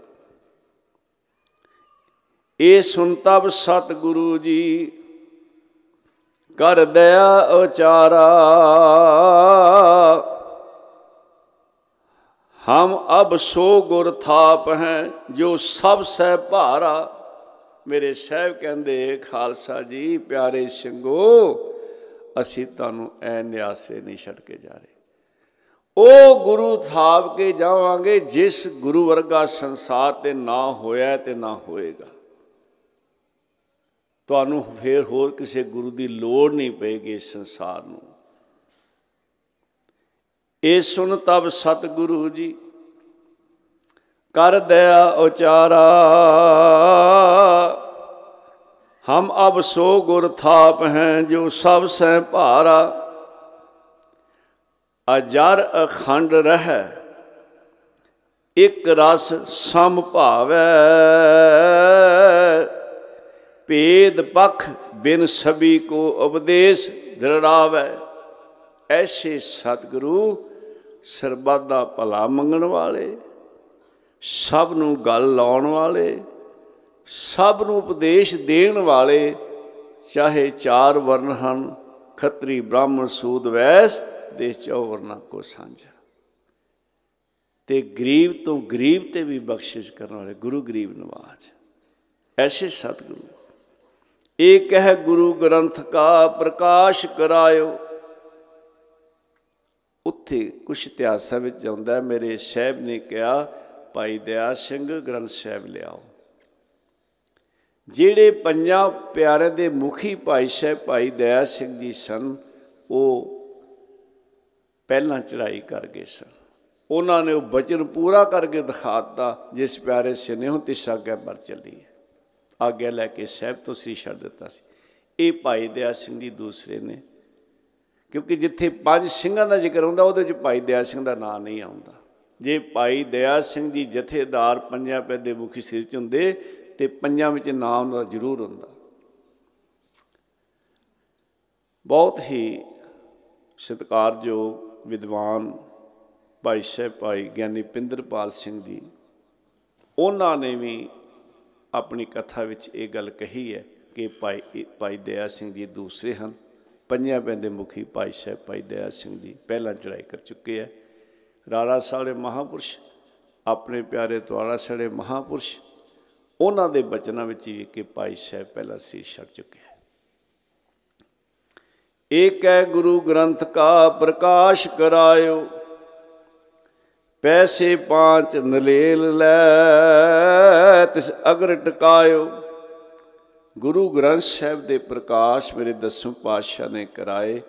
ਹਜੂਰ ਸਾਹਿਬ ਸੱਚਖੰਡ ਜਿੱਥੇ ਨਿਸ਼ਾਨ ਸਾਹਿਬ ਹੈ, ਇੱਥੇ ਤੰਬੂ ਸੀ ਤੇ ਇੱਥੇ ਗੁਰੂ ਗ੍ਰੰਥ ਸਾਹਿਬ ਦੇ ਪ੍ਰਕਾਸ਼ ਕਰਾਏ ਨੇ। ਪੰਜ ਪੈਸੇ ਨਿਆਰੇ ਰੱਖ ਕੇ ਕਰ ਪਰਿਕਰਮਾ ਗੁਰੂ ਜੀ ਅਬ ਨੰਦਨ ਕੀਓ ਅਬ ਬੰਦਨ ਕੀਓ। ਗੁਰੂ ਰੂਪ ਥਾ ਪੂਜ ਕੇ ਸਭ ਤੈ ਪੁਜਵੀ ਆਪ ਮੱਥਾ ਟੇਕਿਆ ਤੇ ਸਭ ਨੂੰ ਹੁਕਮ ਕੀਤਾ। ਮੇਰੇ ਦਸਮ ਪਾਤਸ਼ਾਹ ਜੀ ਨੇ ਕਰਾ ਪ੍ਰਸ਼ਾਦ ਦੀ ਦੇਗ ਬਣਾਈ। ਪੰਚਾਮ੍ਰਿਤ ਕਰਵਾਏ ਕਹਿ ਬਹੁਥਾ ਵਰਤਵਾਇਓ ਸ਼ੀਰੀ ਮੁਖਤ ਸਭ ਸਿੱਖਣ ਪ੍ਰਤੀ ਇਹ ਹੁਕਮ ਸੁਨਾਇਓ ਪੰਜ ਸਿੰਘ ਤਾਬਿਆ ਖੜੇ ਕੀਤੇ। ਤੇ ਗੁਰੂ ਗ੍ਰੰਥ ਸਾਹਿਬ ਦੀਆਂ ਪ੍ਰਕਰਮਾਂ ਕਰਕੇ ਚਾਰ, ਗੁਰੂ ਗ੍ਰੰਥ ਸਾਹਿਬ ਨੂੰ ਮੱਥਾ ਟੇਕਿਆ। ਸਾਧ ਸੰਗਤ, ਧੰਨ ਗੁਰੂ ਗੋਬਿੰਦ ਸਿੰਘ ਮਹਾਰਾਜ, ਜਿਨ੍ਹਾਂ ਨੇ ਇਸ ਦੁਨੀਆ ਵਿੱਚ ਕਿਸੇ ਅੱਗੇ ਸੀਸ ਨਹੀਂ ਝੁਕਾਇਆ ਬਹੁਤ ਹੀ ਸਤਿਕਾਰਯੋਗ ਢਾਡੀ ਗਿਆਨੀ ਸੋਹਣ ਸਿੰਘ ਜੀ ਸੀਤਲ। ਦਾਸ ਨੇ ਬਚਪਨ ਵਿੱਚ ਉਹਨਾਂ ਦੇ ਕੁਝ ਸੁਣੇ ਆ ਤੇ ਪੜ੍ਹੇ ਤੇ ਕਾਫੀ। ਉਹ ਕਹਿੰਦੇ ਕਈ ਵਾਰ ਸਵਾਲ ਕੀਤਾ ਜਾਂਦਾ ਹੈ ਵੀ ਜਦੋਂ ਕਹਿੰਦੇ ਕਲਗੀਆਂ ਵਾਲੇ ਪਾਤਸ਼ਾਹ ਤੇ ਕਹਿੰਦੇ ਵੀ ਕਲਗੀਆਂ ਤੇ ਹੋਰ ਹੀ ਬਾਦਸ਼ਾਹ ਲਾਉਂਦੇ ਸਨ, ਆਮ ਹੀ ਰਾਜੇ ਲਾਉਂਦੇ ਸਨ। ਤੇ ਦਸਮ ਪਾਤਸ਼ਾਹ ਤੁਸੀਂ ਕਲਗੀਆਂ ਵਾਲੇ ਪਾਤਸ਼ਾਹ ਕਹਿੰਦੇ ਹੋ, ਬਾਜਾਂ ਵਾਲੇ ਕਹਿੰਦੇ ਹੋ, ਤੇ ਇਹ ਇਹਦਾ ਭਾਵ ਕੀ ਹੈ? ਤੇ ਉਹ ਕਹਿੰਦੇ, ਕਲਗੀਆਂ ਤੇ ਬੜਿਆਂ ਰਾਜ ਨੇ ਲਾਈਆਂ, ਪਰ ਉਹ ਕਲਗੀਆਂ ਝੁਕ ਗਈਆਂ। ਇਹ ਕਲਗੀਆਂ ਵਾਲੇ ਸਤਿਗੁਰੂ ਸੱਚੇ ਪਾਤਸ਼ਾਹ, ਇਹ ਕਲਗੀ ਕਿਸੇ ਕੇ ਝੁਕੀ ਨਹੀਂ। ਕਿਸੇ ਅੱਗੇ ਸਿਰ ਨਹੀਂ ਝੁਕਾਇਆ ਮੇਰੇ ਦਸਮ ਪਾਤਸ਼ਾਹ ਨੇ।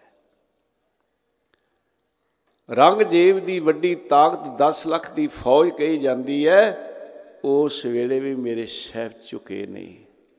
ਸੱਚ ਤੇ ਧਰਮ ਤੇ ਖੜੇ ਨੇ। ਜਦੋਂ ਮੇਰੇ ਦਸਮ ਪਾਤਸ਼ਾਹ ਦਮਦਮਾ ਸਾਹਿਬ ਤੋਂ ਅੱਗੇ ਜਾ ਰਹੇ ਨੇ ਨਾ, ਤੇ ਭਾਈ ਰਾਮ ਸਿੰਘ, ਭਾਈ ਫਤਿਹ ਸਿੰਘ ਵਰਗੇ ਵੀ ਪਿੱਛੇ ਨੂੰ ਚਲੇ ਗਏ, ਪਤਾ ਨਹੀਂ ਜਾਣਾ ਕਿੱਥੇ ਹੈ। ਤੇ ਡੱਲਾ ਸਿੰਘ ਦਾ ਸੱਚੇ ਪਾਤਸ਼ਾਹ, ਮੈਂ ਬੜਾ ਪੱਕਾ, ਬਾਕੀ ਕੱਚੇ ਨੇ। ਸਮਾਂ ਆਇਆ ਡੱਲਾ ਸਿੰਘ ਵੀ ਰਾਤ ਨੂੰ ਬਸ ਭੱਜ ਗਿਆ। ਤੇ ਨੇੜੇ ਮੁਸਲਮਾਨ ਫਕੀਰ ਬੈਠਾ ਸੀ, ਮੇਰੇ ਸਹਿਬ ਆਵਾਜ਼ ਦਿੰਦੇ ਆ, ਡੱਲਾ ਸਿੰਘ ਡੱਲਾ ਸਿੰਘ। ਤੇ ਉਹ ਫਕੀਰ ਕਹਿੰਦਾ, ਨਾ ਡੱਲਾ, ਨਾ ਮੱਲਾ। ਮੱਲਾ ਸਿੰਘ ਭੱਜ ਗਿਆ ਸੀ। ਗੁਰੂ ਰਹਿ ਗਿਆ ਇਕੱਲਾ।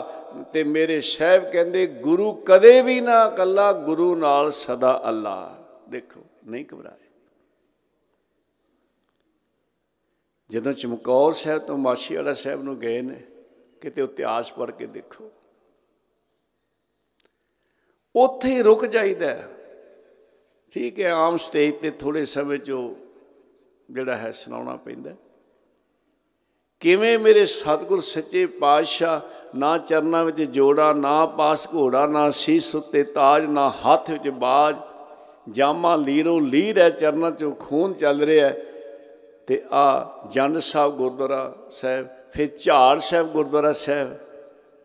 ਉੱਥੇ ਝਾੜੀਆਂ ਦੇ ਵਿੱਚ ਵੀ ਸਮਾਂ ਬਤੀਤ ਕੀਤਾ ਥੋੜਾ ਫਿਰ ਮਾਛੀ ਵਾਲਾ ਸਾਹਿਬ ਗਏ ਨੇ ਪਿਆਰਿਓ। ਤੇ ਉੱਥੇ ਵੀ ਕੀ ਚਾਰਨ ਹੋ ਰਿਹਾ, ਮਿੱਤਰ ਪਿਆਰੇ ਨੂੰ ਹਾਲ ਮਰੀਦਾਂ ਦਾ ਕਹਿਣਾ ਤੁਦਵੇਂ ਰੋਗ ਰਜਾਈਆਂ ਦਾ ਓਡਣ ਨਾਗ ਨਿਵਾਸਾਂ ਦੇ ਰਹਿਣਾ। ਸੂਲ ਸਰਾਹੀ ਖੰਜਰ ਪਿਆਲਾ ਵਿੰਗ ਕਸਾਈਆਂ ਦਾ ਸਹਿਣਾ, ਯਾਰੇ ਦਾ ਸਾਨੂੰ ਸੱਥਰ ਚੰਗਾ ਪੱਟ ਖੇੜਿਆਂ ਦਾ ਰਹਿਣਾ। ਚੜ੍ਹਦੀ ਕਲਾ 'ਚ। ਜੇ ਮੇਰੇ ਦਸਮ ਪਾਤਸ਼ਾਹ ਜੀ ਨੇ ਸੀਸ ਝੁਕਾਇਆ ਹੈ, ਮੱਥਾ ਟੇਕਿਆ ਹੈ, ਸੀਸ ਝੁਕਾਇਆ ਤੇ ਗੁਰੂ ਗ੍ਰੰਥ ਸਾਹਿਬ ਨੂੰ ਝੁਕਾਇਆ ਪਿਆਰੇ ਹੋਰ ਕਿਸੇ ਨੂੰ ਨਹੀਂ ਝੁਕਾਇਆ। ਮੇਰੇ ਦਸਮ ਪਾਤਸ਼ਾਹ ਮੱਥਾ ਟੇਕਿਆ ਤੇ ਗੁਰੂ ਗ੍ਰੰਥ ਸਾਹਿਬ ਨੂੰ। ਸੀਸ ਝੁਕਾਇਆ ਤੇ ਗੁਰੂ ਗ੍ਰੰਥ ਸਾਹਿਬ ਨੂੰ ਝੁਕਾਇਆ ਪਿਆਰੇ ਤਨ ਸਤਿਗੁਰੂ। ਤੇ ਉਸ ਵੇਲੇ ਪੰਜ ਪਿਆਰੇ ਤਾਬਿਆ ਖੜੇ ਕੀਤੇ, ਜਿਹੜੇ 1699 99 ਦੀ ਵਿਸਾਖੀ ਨੂੰ ਪੰਜ ਪਿਆਰੇ, ਉਹਨਾਂ ਵਿੱਚੋਂ ਕੇਵਲ ਭਾਈ ਸਾਹਿਬ, ਭਾਈ ਧਰਮ ਸਿੰਘ ਜੀ ਰਹਿ ਗਏ ਸਨ। ਉਹਨਾਂ ਨੇ ਵੀ ਸਰੀਰ ਇੱਥੇ ਬਾਅਦ ਛੱਡਿਆ, ਉਹ ਸਥਾਨ ਬਣੇ ਨੇ। ਭਾਈ ਸਾਹਿਬ, ਭਾਈ ਧਰਮ ਸਿੰਘ ਜੀ, ਜਥੇਦਾਰ ਭਾਈ ਸੰਤੋਖ ਸਿੰਘ ਜੀ ਲਾਂਗਰੀ, ਬਾਬਾ ਦੀਪ ਸਿੰਘ ਜੀ ਬਾਬਾ ਗਰਬਲ ਸਿੰਘ ਜੀ ਤੇ ਬਾਬਾ ਹਰ ਸਿੰਘ ਜੀ। ਇਹ ਪੰਜ ਸਿੰਘਾਂ ਦੇ ਨਾਮ ਆਉਂਦੇ ਆ। ਤੇ ਕੁਝ ਇਤਿਹਾਸਾਂ ਵਿੱਚ ਇਹ ਵੀ ਆਇਆ ਕਿ ਭਾਈ ਸਾਹਿਬ, ਭਾਈ ਮਨੀ ਸਿੰਘ ਨੂੰ ਤਾਬਿਆ ਬਿਠਾਇਆ। ਖੈਰ, ਪੰਜ ਸਿੰਘ ਤਾਬਿਆ ਖੜੇ ਕਰਕੇ। ਪਰ ਕਰਮਾ ਕਰਕੇ ਗੁਰੂ ਗ੍ਰੰਥ ਸਾਹਿਬ ਜੀ ਨੂੰ ਮੱਥਾ ਟੇਕਦਿਆਂ ਹੋਇਆਂ ਸ੍ਰੀ ਮੁਖ ਤੈ, ਹੁਣ ਮੇਰੇ ਸਤਿਗੁਰ ਸੱਚੇ ਪਾਤਸ਼ਾਹ ਜੀ ਨੇ ਸਭ ਸਿੱਖਣ ਪ੍ਰਤੀ ਇਹ ਹੁਕਮ ਸੁਣਾਇਓ। ਕੀ ਹੁਕਮ? ਆਗਿਆ ਭਈ ਅਕਾਲ ਕੀ, ਤਬੈ ਚਲਾਇਓ ਪੰਥ। ਇਹ ਜਿਹੜਾ ਖਾਲਸਾ ਹੈ, ਪੰਥ ਹੈ, ਇਹ ਵਾਹਿਦੇ ਹੁਕਮ ਨਾਲ ਚਲਾਇਆ। ਆ ਕਈ ਵਾਰ ਸ਼ੀ ਕਹਿੰਦੇ ਆ ਨਾ, ਕੀ ਬਣੇਗਾ ਖਾਲਸੇ ਦਾ? ਧਿਆਨ ਦੇਣਾ ਜਰਾ। ਆਮ ਕਹਿੰਦੇ ਕਈ ਵਾਰੀ ਸੀ ਖਾਲਸੇ ਦਾ ਕੀ ਬਣੇਗਾ? ਪਿਆਰਿਓ, ਇਹ ਖਾਲਸਾ ਕਿਸੇ ਰਾਜੇ ਦਾ ਬਣਾਇਆ ਹੋਇਆ ਨਹੀਂ। ਮੇਰੇ ਸਾਹਿਬ ਕਹਿੰਦੇ, ਖਾਲਸਾ ਅਕਾਲ ਪੁਰਖ ਕੀ ਫੌਜ ਪ੍ਰਗਟਿਓ ਖਾਲਸਾ ਪਰਮਾਤਮਾ ਕੀ ਮੌਜ। ਇਹ ਵਾਹਿਗੁਰੂ ਕਾਲ ਪੁਰਖ ਦੇ ਹੁਕਮ ਨਾਲ ਇਹਦੀ ਸਾਜਨਾ ਹੋਈ ਹੈ ਪਿਆਰਿਓ। ਸਾਹਿਬ ਨੇ ਆਪ ਹੀ ਸਦਾ ਹੀ ਕਿਰਪਾ ਕਰਨੀ, ਆਪ ਰਾਖੀ ਕਰਨੀ ਹੈ। ਸਨ 77 ਦੇ ਲਾਗੇ ਦਾ ਬਚਨ ਹੈ। ਮੈਂ ਤਾਂ ਕਹਿੰਨਾ ਭਜਨ ਕਰੋ, ਬਾਣੀ ਪੜੋ ਚਿੰਤਾ ਨਾ ਕਰੋ, ਜ਼ਿੰਮੇਵਾਰੀਆਂ ਆਪਣੀਆਂ ਨਿਭਾਓ। ਜਿੰਨੀ ਕਿ ਸਾਹਿਬ ਨੇ ਤੁਹਾਨੂੰ ਸਮਰੱਥਾ ਦਿੱਤੀ ਹੈ, ਉਹ ਇੱਕ ਫਰਜ਼ ਹਨ, ਪਰ ਕਰਨ ਕਰਨ ਵਾਲਾ ਮਾਲਕ ਹੈ। ਪਿਆਰੇ ਰਤਵਾੜਾ ਸਾਡੇ ਮਹਾਪੁਰਸ਼ ਤੇ ਸ਼੍ਰੀ ਮਨ ਸੰਤ ਬਾਬਾ ਮੋਹਨ ਸਿੰਘ ਜੀ, ਪਿੰਡਰਾਂ ਵਾਲੇ ਸੰਤ ਗਿਆਨੀ ਗੁਰਬਚਨ ਸਿੰਘ ਜੀ ਮਹਾਪੁਰਸ਼ਾਂ ਤੋਂ ਬਾਅਦ ਉਹ ਹਰ ਸਾਲ ਜਾਂਦੇ ਰਹੇ। ਫਿਰ ਸੰਤ ਬਾਬਾ ਸੰਤ ਬਾਬਾ ਕਰਤਾਰ ਸਿੰਘ ਜੀ ਖਾਲਸਾ ਉਹ ਵੀ ਗਏ ਨੇ ਤੇ ਸੰਤ ਬਾਬਾ ਜਰਨੈਲ ਸਿੰਘ ਜੀ ਖਾਲਸਾ ਉਹ ਵੀ ਗਏ ਨੇ ਤੇ ਸੰਤ ਗਿਆਨੀ ਮੋਹਨ ਸਿੰਘ ਜੀ ਖਾਲਸਾ ਪਿੰਡਰਾ ਨਿਵਾਸ ਸੀ ਇਹ ਹਰ ਸਾਲ ਜਾਇਆ ਕਰਦੇ ਸੀ। ਇਹ ਦੋ ਮਹਾਂਪੁਰਸ਼ ਬੈਠੇ ਨੇ। ਹੋਰ ਕੋਈ ਸਿੰਘ ਬੈਠੇ ਆ। ਹੁਣ ਬਚਨ ਚਲਾਤਾ ਵੀ ਕੀ ਬਣੇਗਾ ਸਿੱਖਾਂ ਦਾ ਧਿਆਨ ਦੇਣਾ।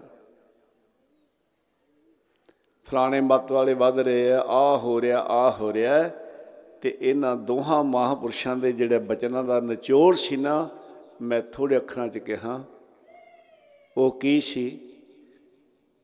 ਕਹਿੰਦੇ ਵੀ ਰੱਬ ਹੈਗਾ ਧਿਆਨ ਦੇਣਾ। ਧਿਆਨ ਦਿਓ ਜਰਾ। ਵੀ ਰੱਬ ਹੈਗਾ ਤੇ ਜਿਹੜੇ ਅੱਗੇ ਬੈਠੇ ਸੀ, ਉਹਨਾਂ ਨੂੰ ਫਿਰ ਕੀ ਕਹਿਣਾ ਪੈਣਾ ਸੀ ਵੀ ਰੱਬ ਹੈਗਾ? ਤੇ ਕਹਿੰਦੇ ਫਿਰ ਤੁਸੀਂ ਫਿਕਰ ਕਿਉਂ ਕਰਦੇ ਹੋ?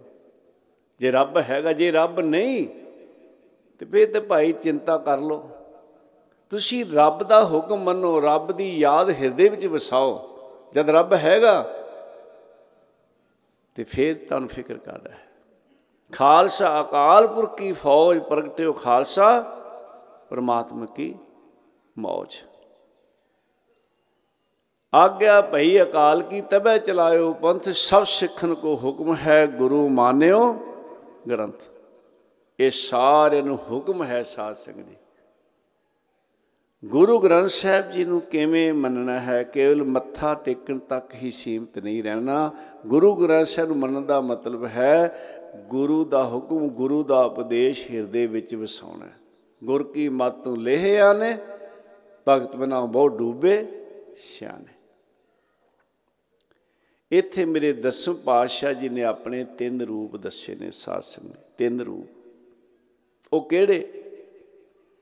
ਕਦੀ ਭਾਈ ਸਾਹਿਬ, ਭਾਈ ਨੰਦ ਲਾਲ ਜੀ ਨੇ ਵੀ ਪੁੱਛਿਆ ਸੀ, ਸੱਚੇ ਪਾਤਸ਼ਾਹ, ਵੀ ਸਤਿਗੁਰੂ ਨੇ ਸੰਸਾਰ ਤੇ ਸਦਾ ਹੀ ਕਿਰਪਾ ਕਰਨੀ ਹੈ ਕਿਹੜੇ ਕਿਹੜੇ ਰੂਪ ਵਿੱਚ ਵਿਚਰੋਗੇ? ਉਹ ਰੂਪ ਹੀ ਅੱਜ ਮੇਰੇ ਸਾਹਿਬ ਉੱਥੇ ਦੱਸ ਰਹੇ ਨੇ, ਜਿਹੜੇ ਪਹਿਲਾਂ ਕਿ ਦੱਸੇ ਸਨ। ਭਾਈ ਨੰਦ ਲਾਲ ਜੀ ਨੇ ਬੇਨਤੀ ਕੀਤੀ ਸੀ, ਤੁਮ ਜੋ ਕਹਾ ਗੁਰਦੇਵ ਜੀ, ਦਰਸ਼ਨ ਕਰ ਮੋਹੇ ਆਏ, ਲਖੀਏ ਤੁਮਰਾ ਦਰਸ਼ ਕਹਾ। ਕਹੋ ਮੋਹੇ ਸਮਝਾਏ, ਸੱਚੇ ਪਾਤਸ਼ਾਹ, ਤੁਸੀਂ ਕਿਹੜੇ ਰੂਪ ਵਿੱਚ ਦਰਸ਼ਨ ਦਿਓਗੇ ਸਦਾ? ਤੇ ਮੇਰੇ ਦਸੋਂ ਪਾਤਸ਼ਾਹ ਨੇ ਬਚਨ ਉਸ ਵੇਲੇ ਕੀਤਾ ਤੀਨ ਰੂਪ ਹੈ ਮੋਹੇ ਕੇ, ਸੁਨੋ ਨੰਦ ਚਿਤ ਲਾਏ। ਨਿਰਗੁਣ, ਸਰਗੁਣ, ਗੁਰ ਸ਼ਬਦ ਕਹੋ ਤੋਏ ਸਮਝਾਏ। ਮੇਰੇ ਸਾਹਿਬ ਕਹਿੰਦੇ ਤਿੰਨ ਰੂਪਾਂ ਦੇ ਵਿੱਚ। ਇਹ ਹੁਣ ਬਚਨ ਸਾਹਿਬ ਦਾ ਸਮਝਣ ਵਾਲਾ ਹੈ ਸਾਧ ਸੰਗਤ। ਨਿਰਗੁਣ। ਰੂਪ ਨਾ ਰੇਖ ਨਾ ਰੰਗ ਤ੍ਰਿਹ ਗੁਣ ਤੇ ਪ੍ਰਪੰਤ ਸੇ ਬਜਾਏ ਨਾਨਕਾ ਜਿਸ ਹੋਵੈ ਸੋ ਪ੍ਰਸੰਨ। ਚੱਕਰ ਚੇਹ ਨਾਲ ਬਰਨ ਜਾ ਤਰ ਪਾਤ ਹਨ ਜੇ ਰੂਪ ਰੰਗ ਰੇਖ ਬੇਗੂ ਕਹਿ ਨ ਸਕਤ ਕਹੇ। ਨਿਰਗੁਣ ਸਰੂਪ ਜਿਹੜਾ ਜਰਰੇ ਜਰੇ ਵਿੱਚ ਸਮਾਇਆ ਹੋਇਆ ਹੈ ਸਾਧ ਜੀ। ਘਟ ਘਟ ਵਿਆਪਕ ਅੰਤਰਜਾਮੀ ਹਰ ਥਾਂ ਸੋ ਅੰਤਰ ਸੋ ਬਾਹਰ ਅਨੰਤਰ ਕਟ ਕਟ ਵਿਆਪ ਰਿਹਾ ਭਗਵੰਤ। ਉਹ ਕੌਣ ਹੈ? ਨਿਰਗੁਣ ਸਰੂਪ ਪਰਮੇਸ਼ਰ। ਬੇਨਤੀ ਕਰਾਂ, ਸਤਿਗੁਰੂ ਜੀ ਦਾ ਨਿਰਗੁਣ ਸਰੂਪ ਵਾਹਿਗੁਰੂ ਹੈ ਤੇ ਵਾਹਿਗੁਰੂ ਜੀ ਦਾ ਸਰਗੁਣ ਸਰੂਪ ਸਤਿਗੁਰੂ ਹੈ। ਸਰਗੁਣ ਸਰੂਪ ਸਤਿਗੁਰੂ ਹੈ। ਗੁਰੂ ਤੇ ਪਰਮੇਸ਼ਰ ਦੋ ਨਹੀਂ ਗੁਰ ਪਰਮੇਸ਼ਰ ਏਕੋ ਜਾਣ, ਗੁਰ ਗੋਬਿੰਦ ਗੋਬਿੰਦ ਗੁਰੂ ਹੈ, ਨਾਨਕ ਭੇਦ ਨਾ ਪਾਏ। ਪਰਮੇਸ਼ਰ ਦਾ ਸਰਗੁਣ ਸਰੂਪ ਸਤਿਗੁਰੂ ਤੇ ਸਤਿਗੁਰੂ ਦਾ ਨਿਰਗੁਣ ਸਰੂਪ ਵਾਹਿਗੁਰੂ। ਭਾਵ ਇੱਕ ਨੇ। ਮਹਾਪੁਰਸ਼ ਦੱਸਿਆ ਕਰਦੇ ਭਾਈ, ਚਾਰ ਕਿਸਮ ਦਾ ਭਰੋਸਾ ਹੈ। ਪਹਿਲਾ, ਮੇਰਾ ਗੁਰੂ ਬੜਾ ਵੱਡਾ ਸੰਤ ਹੈ। ਦੂਸਰਾ, ਸਾਰੇ ਸੰਤਾਂ 'ਚ ਵੱਡਾ ਸੰਤ ਹੈ। ਤੀਸਰਾ, ਰੱਬ ਵਰਗਾ ਹੈ। ਪਰ ਕਹਿੰਦੇ, ਨਹੀਂ, ਅਸਲੀ ਭਰੋਸਾ ਹੈ ਕਿ ਮੇਰਾ ਸਤਿਗੁਰੂ ਆਪ ਨਰੈਣ ਕਲਾ ਧਾਰ ਜਗ ਮੈਂ ਪਰਵਰਿਓ ਇਹ ਭਰੋਸਾ ਪਾਰ ਸਾਨੂੰ ਲਾਏਗਾ। ਮੇਰੇ ਦਸੋਂ ਪਾਤਸ਼ਾਹ ਕਹਿੰਦੇ, ਸਾਡਾ ਪਹਿਲਾ ਸਰੂਪ ਨਿਰਗੁਣ ਸਰੂਪ ਹੈ। ਜਿਹੜਾ ਜਰਰੇ ਜਰਰੇ ਵਿੱਚ ਵਸਿਆ ਹੋਇਆ ਹੈ, ਹਰ ਥਾਂ ਹੈ, ਹਰ ਥਾਂ ਵਿਆਪਕ ਹੈ। ਤੇ ਦੂਸਰਾ ਸਰੂਪ ਉਹ ਹੈ ਸ਼ਬਦ ਗੁਰੂ ਗੁਰੂ ਗ੍ਰੰਥ ਸਾਹਿਬ ਮਹਾਰਾਜ। ਦੂਸਰ ਰੂਪ ਗ੍ਰੰਥ ਜੀ ਜਾਨੋ ਆਪਨ ਅੰਗ ਮੇਰੇ ਕਰ ਮਾਨੋ। ਰੋਮ ਰੋਮ ਅਸ਼ਰ ਜੋ ਲਹੋ, ਯਥਾਰਥ ਬਾਤ ਤੁਮ ਬੋਲਤ ਕਹੋ। ਮਾਰੇ ਕਹਿੰਦੇ ਕਿ ਗੁਰੂ ਗ੍ਰੰਥ ਸਾਹਿਬ ਜੀ ਦੂਸਰਾ ਸਾਡਾ ਸਰੂਪ ਹਨ, ਸ਼ਬਦ ਸਰੂਪ ਗੁਰੂ ਗ੍ਰੰਥ ਸਾਹਿਬ ਮਹਾਰਾਜ। ਤੇ ਮੇਰੇ ਸਤਿਗੁਰ ਕਹਿੰਦੇ ਨੇ ਕਿ ਜਿਹੜਾ ਗੁਰੂ ਗ੍ਰੰਥ ਸਾਹਿਬ ਦਾ ਇੱਕ ਇੱਕ ਅੱਖਰ ਹੈ ਨਾ, ਇਹ ਸਾਡੇ ਰੋਮ ਨੇ। ਧਿਆਨ ਦੇਣਾ ਜਰਾ। ਆ ਭਰੋਸਾ ਗੁਰਸਿੱਖੋ ਖਾਲਸਾ ਜੀ ਆ ਕਰਿਓ ਜੀ। ਜੋ ਸਿੱਖ ਗੁਰਦਰਸ਼ਨ ਕੀ ਚਾਹੈ ਦਰਸ਼ਨ ਕਰੇ ਗ੍ਰੰਥ ਜੀ ਆਹੇ। ਜਿਹੜਾ ਸਾਡੇ ਭਾਵ, ਜਿਹੜਾ ਗੁਰੂ ਦੇ ਦਰਸ਼ਨ ਕਰਨ ਚਾਹੁੰਦਾ ਹੈ, ਉਹ ਗੁਰੂ ਗ੍ਰੰਥ ਸਾਹਿਬ ਦੇ ਦਰਸ਼ਨ ਕਰ ਲਓ। ਕਿਉਂਕਿ ਹਰ ਸਿੱਖ ਦੇ ਮਨ ਅੰਦਰ ਹੁੰਦਾ ਨਾ, ਮੈਂ ਗੁਰੂ ਦੇ ਦਰਸ਼ਨ ਕਰਾਂ। ਤੇ ਮਾਰੇ ਕਹਿੰਦੇ, ਗੁਰੂ ਗ੍ਰੰਥ ਸਾਹਿਬ ਦੇ ਦਰਸ਼ਨ ਕਰੋ। ਕਿਵੇਂ ਕਰਨੇ ਆ? ਪ੍ਰਭਾਤ ਸਮੇਂ ਕਰੇ ਇਸ਼ਨਾਨ, ਅੰਮ੍ਰਿਤ ਵੇਲੇ ਉੱਠ ਕੇ ਤੇ ਕਹਿੰਦੇ, ਮੇਰੇ ਸਹਿਬ ਕਹਿੰਦੇ, ਭਾਈ ਇਸ਼ਨਾਨ ਕਰੇ। ਜਿਹੜਾ ਗੁਰੂ ਕਾ ਸਿੱਖ ਹੈ ਕਰ ਇਸ਼ਨਾਨ ਸਿਵਰ ਪ੍ਰਭ ਆਪਣਾ, ਮਨ ਤਨ ਪਏ ਅਰੋਗਾ। ਉਥੇ ਇਹ ਵੀ ਬਚਨ ਆਉਂਦੇ ਨੇ, ਮੇਰੇ ਸਹਿਬ ਕਹਿੰਦੇ ਨੇ, ਕਰਨਾ ਕੀ ਹੈ? ਜਦੋਂ ਗੁਰੂ ਗ੍ਰੰਥ ਸਾਹਿਬ ਦੀ ਹਜ਼ੂਰੀ ਆਉਂਦਾ ਨਾ, ਹਾਥ ਜੋੜ ਕਰ ਅਦਬ ਸੋ। ਹੱਥ ਜੋੜ ਕੇ ਸਤਕਾਰ ਦੇ ਨਾਲ ਬੈਠੇ ਮੋਹਿ ਜੋ ਸਤਗੁਰ ਦੀ ਹਜ਼ੂਰੀ ਸਤਗੁਰ ਦੀ ਸ਼ਰਨ ਵਿੱਚ ਬੈਠੇ। ਸੀਸ ਟੇਕ ਗੁਰ ਗ੍ਰੰਥ ਜੀ, ਵਚਨ ਸੁਣੇ ਸੋ ਹਜ਼ੂਰ। ਫੇਰ ਸਤਿਗੁਰੂ ਨਮਸਕਾਰ ਕਰੇ, ਸਤਿਗੁਰ ਦੀ ਹਜ਼ੂਰੀ ਵਿੱਚ ਬੈਠੇ, ਸਤਿਗੁਰ ਦੀ ਬਾਣੀ, ਸਤਿਗੁਰ ਦੇ ਬਚਨ ਸੁਣੇ। ਸ਼ਬਦ ਸੁਣੇ, ਗੁਰ ਹਿਤ ਚਿਤ ਲਾਏ।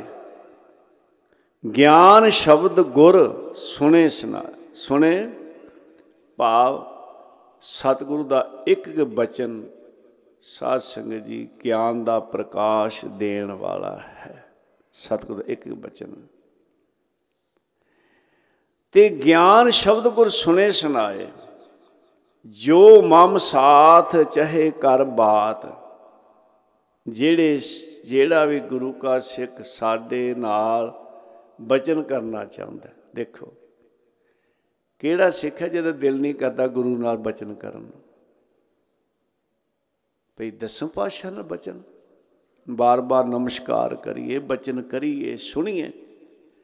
ਤੇ ਮੇਰੇ ਸਾਹਿਬ ਕਹਿੰਦੇ, ਜੋ ਮਮ ਸਾਥ ਚਹੇ ਵਿਚਾਵੇ ਕਰ ਬਾਤ। ਗ੍ਰੰਥ ਜੀ ਪੜੇ ਸੁਣੇ, ਵਿਚਾਰੇ ਸਾਥ। ਕਹਿੰਦੇ ਜਿਹੜਾ ਤੇ ਸਾਡੇ ਨਾਲ ਬਚਨ ਕਰਨਾ ਚਾਹੁੰਦਾ ਉਹ ਗੁਰਬਾਣੀ ਆਪ ਪੜ੍ਹੇ। ਦੇਖੋ ਆ ਜਦੋਂ ਅਸੀਂ ਬਾਣੀ ਪੜ੍ਹਨੇ ਆ ਨਾ, ਨਿਤਨੇਮ ਕਰਨੇ ਆ, ਸਹਿਜ ਪਾਠ ਕਰਨੇ ਆ, ਬਾਣੀ ਪੜ੍ਹਨੇ ਆ, ਤੇ ਸਾਡੇ ਅੰਦਰ ਉਹ ਭਾਵਨਾ ਚਾਹੀਦੀ ਹੈ, ਦੇਖੋ, ਹੁਣ ਦਸੂ ਪਾਸ਼ਾ ਨਾਲ ਬਚਨ ਕਰ ਰਹੇ ਹੋਈਏ, ਤੇ ਕਦੀ ਅੱਖਾਂ ਥੱਕਾਂਗੇ? ਮੈਂ ਕਈ ਵਾਰ ਬੇਨਤੀ ਕਰਨਾ ਆਯਾਮ ਕੋਈ ਸਾਨੂੰ ਫੋਨ ਆ ਜਾਵੇ ਨਾ 9-10 ਵਜੇ ਤੇ ਅਸੀਂ ਕਈ ਵਾਰੀ ਕਵਾਂਗੇ 10 ਵਜੇ ਹੈ। ਅਸੀਂ ਕਹਾਂਗੇ ਜੀ ਅਜੇ ਮੇਰਾ ਨਿਤਨੇਮ ਨਹੀਂ ਮੁੱਕਿਆ। ਭਈ ਅਗਲੇ ਨੂੰ ਪਤਾ ਲੱਗੇ ਵੀ ਬੜਾ ਨਿਤਨ ਇਹ ਨਹੀਂ ਪਤਾ ਵੀ ਉੱਠਿਆ ਹੀ 9 ਵਜੇ ਹੈ। ਅਸੀਂ ਨਿਤਨੇ ਮਕਾਉਨੇ ਆ ਗੁਰੂ ਕਾਸ਼ੇ ਕਹਿੰਦਾ, ਸੱਚੇ ਪਾਤਸ਼ਾਹ, ਮੇਰੇ ਪ੍ਰਾਣ ਮੁੱਕ ਜਾਣ, ਮੇਰਾ ਨਿਤਨੇਮ ਨਾ ਮੁੱਕੇ। ਪਿਆਰੇ ਕਦੀ ਅੱਕੇ ਥੱਕੇਗਾ ਗੁਰੂ ਨਾਲ ਬਚਨ ਕਰਦੇ ਆ। ਉਹ ਤੇ ਕਹੇਗਾ ਮੈਂ ਹੋਰ ਬਾਣੀ ਪੜਾਂ ਹੋਰ ਬਾਣੀ ਪੜਾਂ ਆ ਜਿਨ੍ਹਾਂ ਦੀਆਂ ਆਪਾਂ ਯਾਦਾਂ ਮਨਾਉਨੇ ਆ, ਸ਼ਹੀਦਾਂ ਦੀਆਂ, ਗੁਰਮੁਖਾਂ ਦੀਆਂ, ਮਹਾਪੁਰਸ਼ਾਂ ਦੀਆਂ, ਉਹਨਾਂ ਦੇ ਕਿਤੇ ਨਿਤਨੇਮ ਸੁਣ ਪੜ ਕੇ ਦੇਖੋ। ਉਹ ਆਪਣੇ ਕਾਰ ਵਿਹਾਰ ਵੀ ਕਰਦੇ ਸਨ। ਕਾਰ ਵਿਹਾਰ ਕਰਦਿਆਂ ਵੀ ਬਾਣੀ ਪੜ੍ਹੀ ਜਾਂਦੇ ਸਨ ਪਿਆਰਿਓ ਮਾਈਆਂ ਦੁੱਧ ਰਿੜਕਦਿਆਂ ਬਾਣੀ ਪੜ੍ਹਦੀਆਂ, ਪ੍ਰਸ਼ਾਦਾ ਤਿਆਰ ਕਰਦੀਆਂ, ਬਾਣੀ ਪੜ੍ਹਦੀਆਂ ਪਿਆਰਿਓ ਬਜ਼ੁਰਗ, ਹੋਰ ਮਹਾਪੁਰਸ਼ਾਂ ਦਾ ਜੀਵਨ ਦੇਖੀਏ। ਪੰਜ ਬਾਣੀਆਂ ਦਾ ਨਿਤਨੇਮ ਤੇ ਘੱਟੋ ਘੱਟ ਹੈ ਨਾ, ਉਸ ਤੋਂ ਬਾਅਦ ਫਿਰ ਜਿੰਨੀ ਬਾਣੀ ਪੜ੍ਹੀ ਜਾਵੋ ਪਿਆਰਿਓ ਤੇ ਮੇਰੇ ਸ਼ਹਿਬ ਕਹਿੰਦੇ ਨੇ, ਜੋ ਮਮ ਸਾਥ ਚਾਹੇ ਕਰ ਬਾਤ, ਗ੍ਰੰਥ ਜੀ ਪੜੇ ਸੁਣੇ ਵਿਚਾਰੇ ਸਾਥ। ਜੋ ਮੁਝ ਬਚਨ ਸੁਣਨ ਕੀ ਚਾਏ ਗ੍ਰੰਥ ਜੀ ਪੜੈ ਦੇਖੋ, ਜੇ ਕਿਸੇ ਨੂੰ ਸਾਡੇ ਬਚਨ ਸੁਣਦਾ ਚਾਹ ਹੈ ਤੇ ਦੂਸਰਾ ਬਾਣੀ ਪੜ੍ਹ ਰਿਹਾ। ਗ੍ਰੰਥ ਜੀ ਪੜ੍ਹੈ, ਤੇ ਤੁਸੀਂ ਕੀ ਕਰਨਾ? ਸੁਣੇ ਚਿਤ ਲਾਏ, ਤੁਸੀਂ ਸੁਣੋ, ਉਹ ਸਾਡੇ ਬਚਨ ਹੋਣਗੇ। ਜਦੋਂ ਅਸੀਂ ਗੁਰਬਾਣੀ ਸੁਣਨੇ ਆ, ਤੇ ਮੇਰੇ ਸਤਿਗੁਰ ਦੇ ਬਚਨ, ਦਸਮ ਪਾਤਸ਼ਾਹ ਦੇ ਬਚਨ। ਕਿਉਂ ਨਾ ਸਾਡਾ ਮਨ ਲੱਗੇਗਾ ਵੀ ਸੁਣੀ ਜਾਈਏ ਸੁਣੀ ਜਾਈਏ ਪਿਆਰੇ।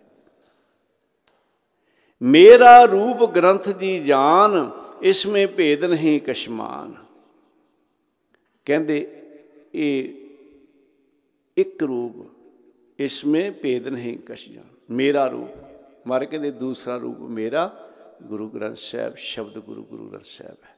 ਜੇ ਬਚਨ ਸੁਣਨੇ ਨੇ ਗੁਰਬਾਣੀ ਸਰਵਣ ਕਰਿਓ, ਜੇ ਸਾਡੇ ਨਾਲ ਬਚਨ ਕਰਨੇ ਗੁਰਬਾਣੀ ਆ ਪੜਿਓ। ਤੀਸਰ ਰੂਪ ਸਿੱਖ ਹੈ ਮੋਰ, ਗੁਰਬਾਣੀ ਰਤ ਜਹ ਨਿਸਭੋਰ। ਕਹਿੰਦੇ ਜਿਹੜਾ ਤੀਸਰਾ ਰੂਪ ਹੈ ਨਾ ਮੇਰਾ ਉਹ ਹੈ ਖਾਲਸਾ। ਜੇ ਇਸ ਤਰ੍ਹਾਂ ਸਾਡੇ ਦਰਸ਼ਨ ਕਰਨੇ ਚਾਹੁੰਦੇ ਹੋ, ਤੇ ਖਾਲਸੇ ਦੇ ਭਾਈ ਦਰਸ਼ਨ ਕਰੋ। ਖਾਲਸਾ ਮੇਰੋ ਰੂਪ ਹੈ ਖਾਸ, ਖਾਲਸੇ ਮੇ ਹੋ ਕਰੋ ਨਿਵਾਸ। ਉਹ ਖਾਲਸਾ ਕਿਹੜਾ ਹੈ? ਜਾਗਤ ਜੋਤ ਜਪੈ ਨਿਸਬਾਸਰ ਏਕ ਬਿਨਾ ਮਨ ਨੇਕ ਨ ਆਨੈ।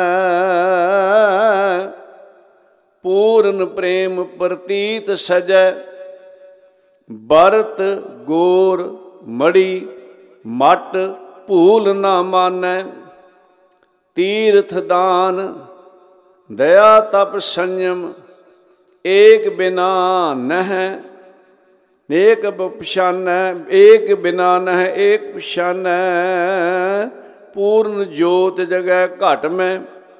ਤਬ ਖਾਲਸ ਤਾਹੇ ਨਖਾਲਸ ਜਾਣੈ ਇਹ ਨਿਸ਼ਾਨੀ ਹੈ ਖਾਸ, ਖਾਲਸੇ ਦੀ।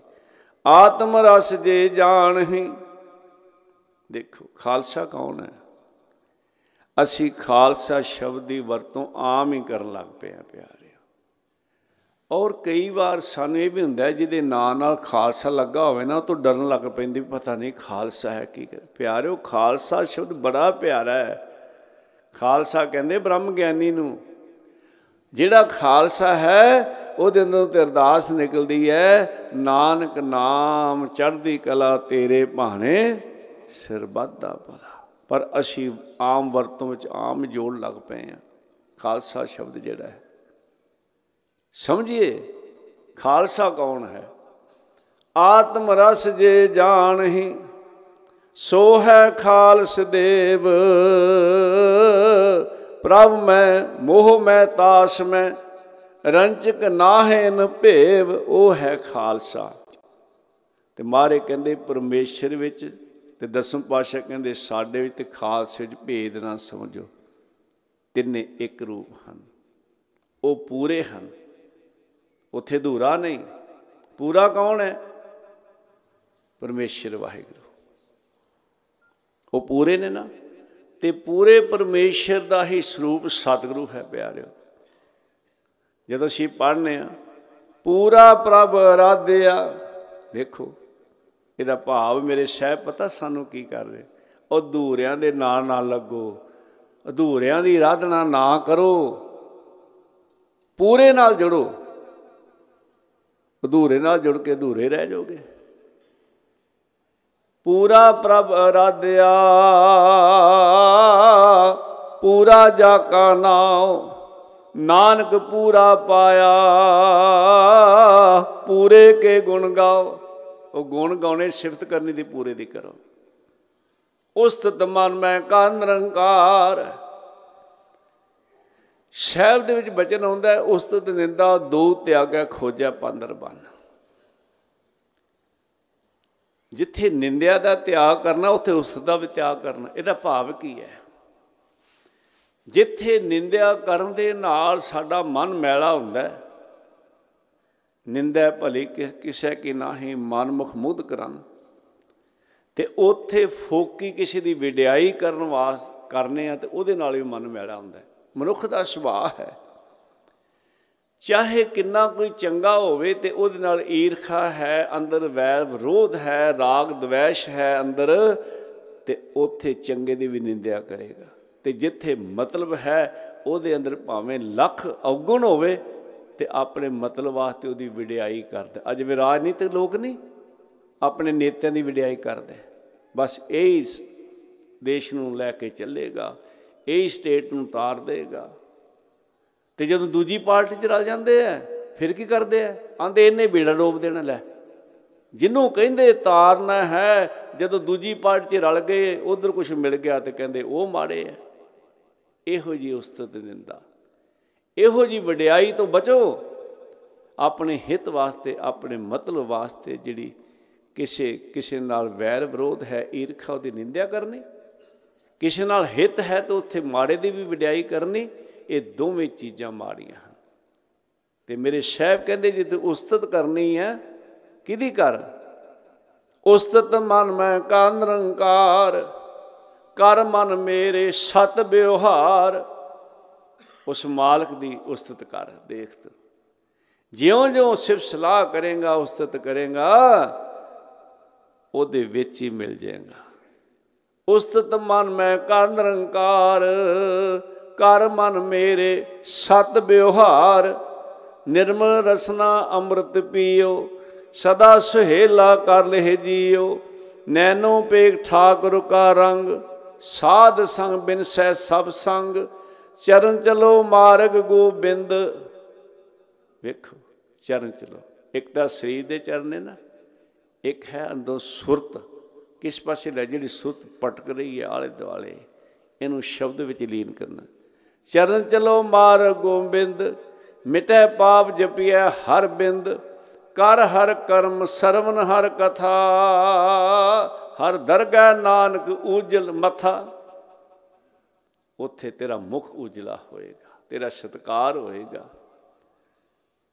ਪੂਰਾ ਪ੍ਰਭ ਰਾਧਿਆ ਪੂਰਾ ਜਾ ਕਾ ਨਾਮ ਨਾਨਕ ਪੂਰਾ ਪਾਇਆ। ਪੂਰੇ ਕੇ ਗੁਣ ਗਾਓ। ਵਾਹਿਗੁਰੂ ਜੀ ਪੂਰੇ ਨੇ। ਧੂਰ ਦੇ ਲੜ ਨਾਲ ਲੱਗੋ। ਆਰਾਧਨਾ ਪੂਰੇ ਦੀ ਕਰੋ। ਮੇਰੇ ਸਹਿਬ ਨੇ ਪੂਰੇ ਨਾਲ ਹੀ ਸਾਨੂੰ ਜੋੜਿਆ ਪਿਆਰਿਆ ਵਾਹਿਗੁਰੂ ਜੀ ਕਾ ਖਾਲਸਾ। ਇਹ ਖਾਲਸਾ ਕਿਦਾ ਹੈ? ਉਸ ਪੂਰੇ ਦਾ ਵਾਹਿਗੁਰੂ। ਵਾਹਿਗੁਰੂ ਜੀ ਕੀ ਫਤਿਹ। ਪੂਰਾ ਪ੍ਰਭ ਰਾਧਿਆ ਪੂਰਾ ਜਾ ਕਾ ਨਾਮ ਨਾਨਕ ਪੂਰਾ ਪਾਇਆ, ਪੂਰੇ ਕੇ ਗੁਣ ਗਾਓ, ਪੂਰੇ ਗੁਰ ਕਾ ਸੁਨ ਉਪਦੇਸ਼, ਪਾਰ ਬ੍ਰਹਮ ਨਿਕਟ ਕਰ ਪੇਖ ਸਤਿਗੁਰੂ ਪੂਰੇ ਨੇ। ਹੁਣ ਹੋਰ ਕੋਈ ਹੈ ਪੂਰਾ? ਤੇ ਮੇਰੇ ਧੰਨ ਗੁਰੂ ਗ੍ਰੰਥ ਸਾਹਿਬ ਮਹਾਰਾਜ ਕਹਿੰਦੇ ਨੇ, ਆਠ ਪਹਿਰ ਪ੍ਰਭ ਬਸੇ ਹਜੂਰੇ, ਕਹੋ ਨਾਨਕ ਸਈ ਜਨ ਪੂਰੇ। ਆਤਮ ਰਸ ਜੇ ਜਾਣਹੀ, ਸੋ ਹੈ ਖਾਲਸ ਦੇਵ। ਪ੍ਰਭ ਮੈਂ, ਮੋਹ ਮੈਂ, ਤਾਸ ਮੈਂ, ਰੰਚਕ ਨਾਹਿਨ ਭੇਵ। ਤੇ ਮੇਰੇ ਦਸਮ ਪਾਸ਼ਾ ਕਹਿੰਦੇ, ਉਹ ਸਰਗਣ ਸਰੂਪ, ਤੀਸਰਾ ਰੂਪ, ਤੀਸਰ ਰੂਪ ਸਿੱਖ ਹੈ ਮੋਰ, ਉਹ ਖਾਲਸਾ ਮੇਰਾ ਰੂਪ ਹੈ।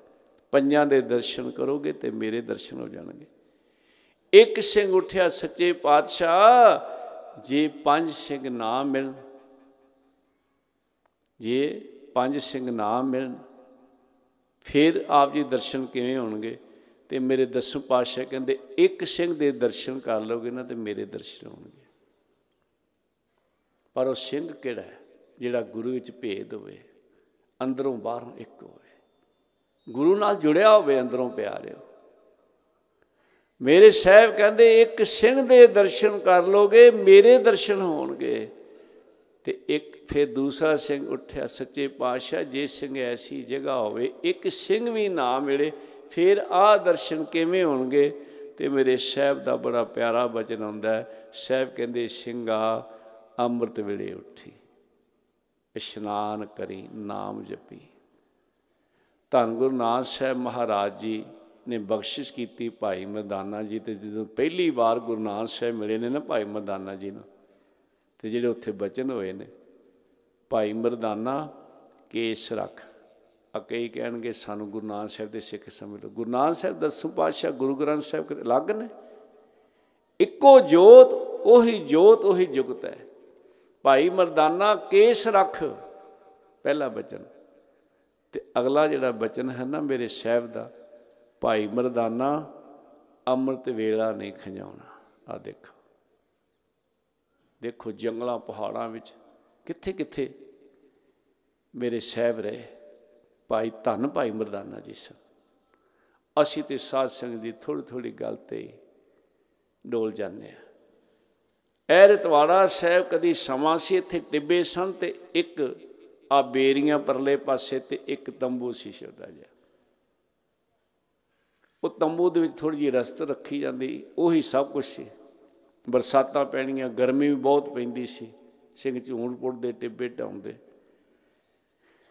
ਤੇ ਇੱਕ ਦਿਨ ਸਾਰੀ ਰਾਤ ਮੀਂਹ ਪੈਂਦਾ ਰਿਹਾ ਤੇ ਸਿੰਘ ਦਿਨੇ ਸੇਵਾ 'ਚ ਲੱਗੇ ਰਹਿੰਦੇ ਸੀ। ਥੋੜਾ ਜਿਹਾ ਸਮਾਂ ਮਿਲਦਾ, ਸਵੇਰੇ ਆਸਾ ਦੀ ਵਾਰ ਜਿਹੜੀ ਸੀ, ਉਹ ਲਾਉਣੀ। ਬਰਸਾਤ ਪੈਂਦੀ ਰਹੀ ਸਾਰੀ ਰਾਤ। ਤੇ ਜਿਵੇਂ ਹੁਣ ਮਾਂ ਨੂੰ ਬੱਚੇ ਦਾ ਫਿਕਰ ਹੁੰਦਾ, ਉਹ ਮਹਾਂਪੁਰਸ਼ ਦਿਨੇ 1 ਵਜੇ ਆਇਆ ਕਰਦੇ ਸੀ 1 2 2 ਤੱਕ, ਫਿਰ ਸ਼ਾਮ ਨੂੰ। ਜੇ ਪਹਿਲਾਂ ਆਉਣਾ ਤੇ ਇਧਰ ਝੁੰਡਾਂ ਵਿੱਚ ਬੈਠ ਕੇ ਭਜਨ ਕਰੀ ਜਾਣਾ, ਤੇ ਇੱਕ ਤੋਂ ਦੋ ਲੰਗਰ ਸੰਗ ਸੰਗ ਪ੍ਰੇਮੀ ਸਾਰੇ ਸੇਵਾਦਾਰ ਲੰਗਰ ਛਕਦੇ ਸੀ, ਉਦੋਂ ਮਿਲ ਕੇ ਫਿਰ ਜਾ ਕੇ ਇੱਧਰ ਬੈਠ ਜਾਣਾ ਝੁੰਡਾ ਆ ਕਈ ਵਾਰ ਸੱਪ ਘੁੰਮਦੇ ਫਿਰਦੇ ਹੁੰਦੇ ਸੀ ਮਹਾਂਪੁਰਸ਼ ਆਨੰਦ ਵਿੱਚ ਬੈਠ ਕੇ ਭਜਨ ਕਰਨਾ, ਭਾਈ ਤੁਸੀਂ ਕਰੋ ਸੇਵਾ, ਫਿਰ ਸ਼ਾਮ ਨੂੰ 5 ਵਜੇ ਆ ਜਾਣਾ। ਉਸ ਦਿਨ ਸੂਰਜ ਚੜੇ ਤੇ ਆ ਗਏ। ਤੇ ਭਾਈ ਗੁਰਦੇਵ ਸਿੰਘ ਜੀ ਬਨੂੜ ਵਾਲੇ ਕਹਿਣ ਲੱਗੇ, ਬਾਬਾ ਜੀ, ਅੱਜ ਤੇ ਸਾਰੀ ਰਾਤ ਹੀ ਬੈਠੇ ਰਹੇ ਮੀਂਹ ਪੈਂਦਾ ਰਿਹਾ। ਹੁਣ ਮਹਾਂਪੁਰਸ਼ਾਂ ਨੂੰ ਵੀ ਪਤਾ ਹੈ ਕਿ ਭਾਈ ਜਗ੍ਹਾ ਤੇ ਕੋਈ ਹੈ ਹੀ ਨਹੀਂ ਇਹਨਾਂ ਕੋਲ। ਆ ਜਦੋਂ 8 ਕਮਰੇ ਪਹਿਲਾਂ ਸ਼ੁਰੂ ਹੋਏ ਨਾ ਆ ਲੰਮੇ ਬਾਅਦ ਚ ਕੀਤੇ ਛੋਟੇ ਛੋਟੇ ਕਮਰੇ ਸੀ ਸਾਨੂੰ ਐ ਸੀ ਵੀ 8 ਕਮਰੇ ਬਣ ਜਾਣੇ ਆ। ਬੱਲੇ ਬੱਲੇ ਬੱਲੇ। ਕਿੱਥੇ ਤੰਬੂ? ਇੱਕ ਪਾਸੇ ਇੱਕ ਪਾਸੇ 8 ਕਮਰੇ ਆ। ਪਰ ਜਿਉਂ ਬਣ ਲੱਗੇ, ਘਟਦੇ ਗਏ ਘਟਦੇ ਗਏ ਘਟਦੇ ਗਏ। ਕਾਰ ਵਾਲੇ ਮਹਾਪੁਰਸ਼ਾਂ ਨੂੰ ਨਾਨਕ ਮਤਾ ਸਾਹਿਬ ਮਾਈਆਂ ਪੁੱਛਦੀਆਂ ਬਾਬਾ ਜੀ, ਇਹ ਕਾਰ ਸੇਵਾ ਕਦੋਂ ਕੁ ਮੁੱਕਣੀ ਹੈ? ਕਹਿੰਦੇ, ਭਾਈ, ਦੁਨੀਆ ਮੁੱਕ ਜਾਣੀ, ਇਹ ਤੇ ਚੱਲਦੀ ਰਹਿਣੀ ਹੈ। ਇਹ ਮੁੱਕਣੀ ਹੈ? ਇਹ ਗੁਰੂ ਨਾਨਕ ਸਾਹਿਬ ਦੇ ਘਰ ਦੀ ਕਾਰ ਸੇਵਾ ਤੇ ਚੱਲਦੀ ਹੋਈ ਰਹਿਣੀ ਹੈ। ਭਾਈ ਗਦੇਵ ਸਿੰਘ ਕਹਿੰਦੇ, ਬਾਬਾ ਜੀ, ਅੱਜ ਤੇ ਸਾਰੀ ਰਾਤ ਹੀ ਬੈਠੇ ਆ ਤੇ ਹੱਸ ਕੇ ਕਹਿੰਦੇ, ਬਹੁਤ ਚੰਗਾ ਹੋਇਆ, ਭਜਨ ਕਰਦੇ ਰਹੇ ਤੁਸੀਂ। ਭਜਨ ਕਰਦੇ ਰਹੇ। ਤੇ ਅਗਲਾ ਜਿਹੜਾ ਬਚਨ ਕਿਹਾ ਨਾ, ਕਹਿੰਦੇ, ਗੁਰੂ ਨਾਨਕ ਸਾਹਿਬ ਦੇ ਕੋਲ ਤੇ ਕੋਈ ਤੰਬੂ ਨਹੀਂ ਸੀ। ਜਿਸ ਗੁਰੂ ਦੇ ਆਪਾਂ ਸੇਵਕ ਆ, ਉਹ ਜੰਗਲਾਂ, ਪਹਾੜਾਂ ਜਾਂਦੇ, ਕਿਤੇ ਨਾਲ ਤੰਬੂ ਤੇ ਨਹੀਂ ਲਈ ਫਿਰਦੇ ਆਪਾਂ ਤੇ ਇੱਕ ਰਾਤ ਹੈ, ਉਹ ਪਤਾ ਨਹੀਂ ਕਿੰਨੀਆਂ ਕੁ ਰਾਤਾਂ ਬਹਿ ਕੇ ਬਰਸਾਤਾਂ ਵਿੱਚ ਕੱਟਦੇ ਹੋਣਗੇ। ਇਹ ਮਹਾਪੁਰਸ਼ਾਂ ਦਾ ਬਚਨ ਹੈ। ਕਹਿੰਦੇ, ਬਹੁਤ ਚੰਗਾ ਤੁਸੀਂ ਸਾਰੀ ਰਾਤ ਬੈਠੇ ਰਹੇ ਹੋ, ਬਹੁਤ ਚੰਗਾ ਪਰ ਅੰਦਰ ਖਿੱਚ ਵੀ ਸੀ, ਪਰ ਚੜ੍ਹਦੀ ਕਲਾ ਸਿੰਘ 'ਚ ਰਹਿਣ, ਕਿਤੇ ਇਹ ਨਾ ਸੋਚਣ। ਤੇ ਮਹਾਂਪੁਰਸ਼ਾਂ ਨੇ ਬਚਨ ਕੀਤਾ ਤੇ ਨਾਲ ਹੱਸ ਕੇ ਕਹਿੰਦੇ ਕਹਿੰਦੇ ਗੁਰੂ ਨਾਨਕ ਸਾਹਿਬ ਕੋਲ ਤੇ ਤੰਬੂ ਵੀ ਕੋਈ ਨਹੀਂ ਸੀ। ਕਿਤੇ ਤੰਬੂ ਲਈ ਫਿਰਦੇ ਸਨ ਨਾਲ? ਗਰਮੀ, ਸਰਦੀ, ਬਰਸਾਤਾਂ ਸਾਰੀਆਂ ਆਪਣੇ ਤੇ ਚੱਲਦੇ ਸਨ। ਭਾਈ, ਤੁਸੀਂ ਤੇ ਇੱਕ ਰਾਤ ਹੀ ਬੈਠੇ ਹੋ। ਆ ਬਚਨ ਹੈ ਕਿਉਂਕਿ ਚੜ੍ਹਦੀ ਕਲਾ ਵਿੱਚ ਰੱਖ। ਹੁਣ ਕਰ ਇਸ਼ਨਾਨ ਸਿਮਰ ਪ੍ਰਭ ਆਪਣਾ ਮਨ ਤਨ ਭੇ ਅਰੋਗਾ ਗੁਰੂ ਨਾਨਕ ਸਾਹਿਬ ਨੇ ਕਿਹਾ ਸੀ, ਭਾਈ ਮਰਦਾਨਾ, ਕੇਸ ਰੱਖ ਤੇ ਦੂਸਰਾ ਬਚਨ ਅੰਮ੍ਰਿਤ ਵੇਲਾ ਸੰਭਾਲੀ ਖੰਜਾਈ ਨਾ। ਆਪਾਂ ਅੰਮ੍ਰਿਤ ਵੇਲਾ ਸੰਭਾਲੀ ਅਰਦਾਸ ਕਰੀ ਤੀਸਰਾ ਵਜਨ ਸੀ, ਆਏ ਬਿਆਗ ਦੀ ਸੇਵਾ ਕਰਨੀ। ਅੱਜ ਦਸਮ ਪਾਤਸ਼ਾਹ ਕਹਿੰਦੇ ਨੇ ਸਿੰਘਾ ਅੰਮ੍ਰਿਤ ਵੇਲੇ ਉੱਠੀ। ਦਾਸ ਬੇਨਤੀ ਕਰਦਾ ਹੈ, ਰੋਹਾਨੀਅਤ ਵਿੱਚ ਵੀ ਸਾਧ ਸੰਗਤ ਦੀ ਵੱਡੀਆਂ ਬਖਸ਼ਾਂ ਅੰਮ੍ਰਿਤ ਵੇਲਾ ਜੀ ਸੰਭਾਲ ਲਈ। ਤੇ ਫਿਰ ਸਾਰੇ ਸਵਾਸ ਦਿਨ ਰਾਤ ਹੀ ਅੰਮ੍ਰਿਤ ਵੇਲਾ ਬਣ ਜਾਂਦਾ ਦੁਨਿਆਵੀ ਕੰਮਾਂ ਦੇ ਵਿੱਚ ਵੀ ਦਾਸ ਨੇ ਦੇਖਿਆ, ਤੁਸੀਂ ਵੀ ਦੇਖਦੇ ਹੋ ਜਿਹੜੇ ਟਾਈਮ ਨਾਲ ਕੰਮ ਕਰਦੇ ਆ ਨਾ, ਉਹ ਹਰ ਪੱਖ ਤੋਂ ਅੱਗੇ ਜਾਂਦੇ ਆ, ਬਰਕਤਾਂ ਪੈਂਦੀਆਂ। ਤੇ ਜਿਹੜੇ ਆਲਸੀ ਹੁੰਦੇ ਆ ਪਿਆਰਿਓ ਉਹ ਬਹੁਤ ਪਿੱਛੇ ਰਹਿ ਜਾਂਦੇ ਦਸਮ ਪਾਤਸ਼ਾਹ ਕਹਿੰਦੇ, ਅੰਮ੍ਰਿਤ ਵੇਲੇ ਉੱਠੀ, ਇਸ਼ਨਾਨ ਕਰੀ, ਨਾਮ ਜਪੀ, ਬਾਣੀ ਪੜ੍ਹੀ। ਤੇ ਅਗਲਾ ਬਚਨ ਮਾਰੇ ਕਹਿੰਦੇ, ਚੱਕਰ ਬੱਕਰ ਸਜਾ ਕੇ ਜਦੋਂ ਸ਼ੀਸ਼ੇ ਦੇ ਸਾਹਮਣੇ ਖੜਾ ਹੋਏਗਾ, ਤੈਨੂੰ ਤੇਰੇ ਨਹੀਂ, ਮੇਰੇ ਦਰਸ਼ਨ ਹੋ ਜਾ ਧੰਨ ਸਤਿਗੁਰੂ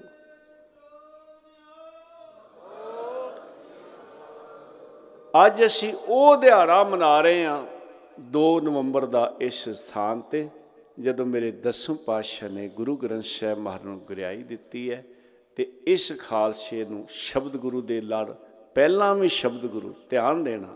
ਇਹ ਨਹੀਂ ਵੀ ਉਸ ਵੇਲੇ ਲਾਇਆ ਮੇਰੇ ਗੁਰੂ ਨਾਨਕ ਸਾਹਿਬ ਦਾ ਵੀ ਬਚਨ ਆ ਕੱਲ ਨੂੰ ਜਦੋਂ ਗੁਰੂ ਨਾਨਕ ਸਾਹਿਬ ਜੀ ਦਾ 550 ਆਪਣਾ 550 ਸਾਲ ਆਪਾਂ ਮਨਾਉਣਾ ਤੇ ਅੱਜ ਹੁਣ ਜਦੋਂ ਅਸੀਂ ਮੱਥਾ ਟੇਕ ਰਹੇ ਹਾਂ ਨਾ, ਤੇ ਸਭ ਤੋਂ ਪਹਿਲਾਂ ਗੁਰੂ ਗ੍ਰੰਥ ਸਾਹਿਬ ਦੇ ਦਰਸ਼ਨ ਹੁੰਦੇ ਆ, ਤੇ ਅੱਗੇ ਜਿਹੜਾ ਬਚਨ ਹੈ, ਸ਼ਬਦ ਗੁਰੂ, ਸੁਰਤ ਧੁਨ, ਚੇਲਾ, ਤੇ ਇਹ ਬਚਨ ਮੇਰੇ ਗੁਰੂ ਨਾਨਕ ਸਾਹਿਬ ਦਾ ਹੈ।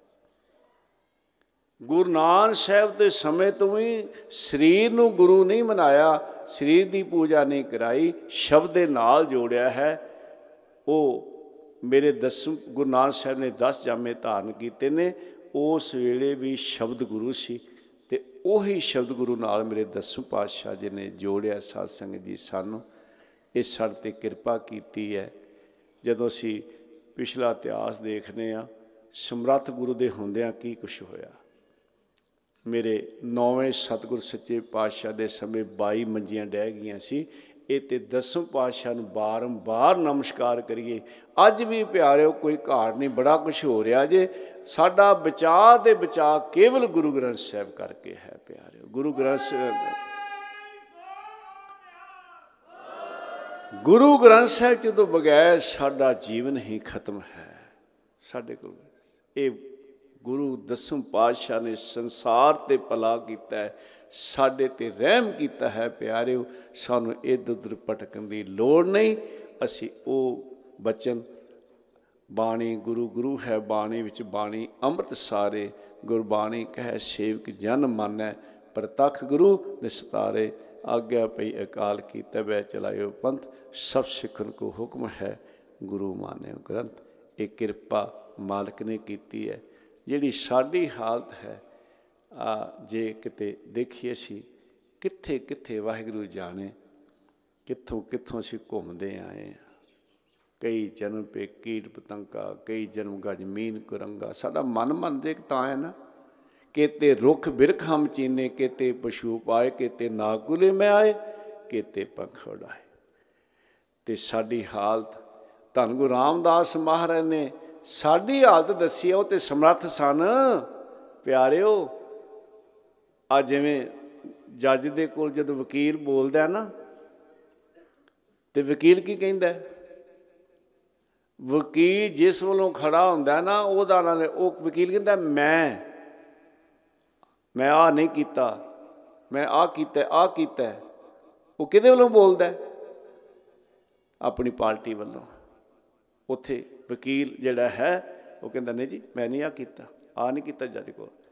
ਤੇ ਮੇਰੇ ਸਤਿਗੁਰੂ ਧੰਨ ਗੁਰੂ ਰਾਮਦਾਸ ਮਹਾਰਾਜ ਤਾਂ ਸਮਰੱਥ ਨੇ ਤੇ ਉਹ ਸਾਡੇ ਤੇ ਕਿਰਪਾ ਕਰਕੇ ਕਹਿੰਦੇ ਆ ਕਿ ਭਾਈ ਆਪਣੇ ਆਪ ਨੂੰ ਗੁਰੂ ਚਰਨਾਂ ਵਿੱਚ ਇਸ ਤਰ੍ਹਾਂ ਜੋੜੋ, ਜਿਵੇਂ ਦਾਸ ਨੇ ਸ਼ੁਰੂ ਵਿੱਚ ਬੇਨਤੀ ਕੀਤੀ ਸੀ, ਜੋ ਹਮਰੀ ਬਿਦ ਹੋਤੀ ਮੇਰੇ ਸਤਗੁਰਾ, ਸਾਬਿਤ ਤੁਮ ਹਰ ਜਾਣੋ ਆਪੇ, ਹਮ ਰੁਲਤੇ ਫਿਰਤੇ ਕੋਈ ਬਾਤ ਨਾ ਪੁੱਛਤਾ, ਗੁਰ ਸਤਗੁਰ ਸੰਗ ਕੀਰੇ ਹਮ ਥਾਪੇ ਧੰਨ ਧੰਨ ਗੁਰੂ ਨਾਨਕ ਜਨ ਕੇਰਾ, ਜਿਤ ਮਿਲਿਆ ਚੁਕੇ ਅਫਸੋਸ ਸੰਤਾਪੇ।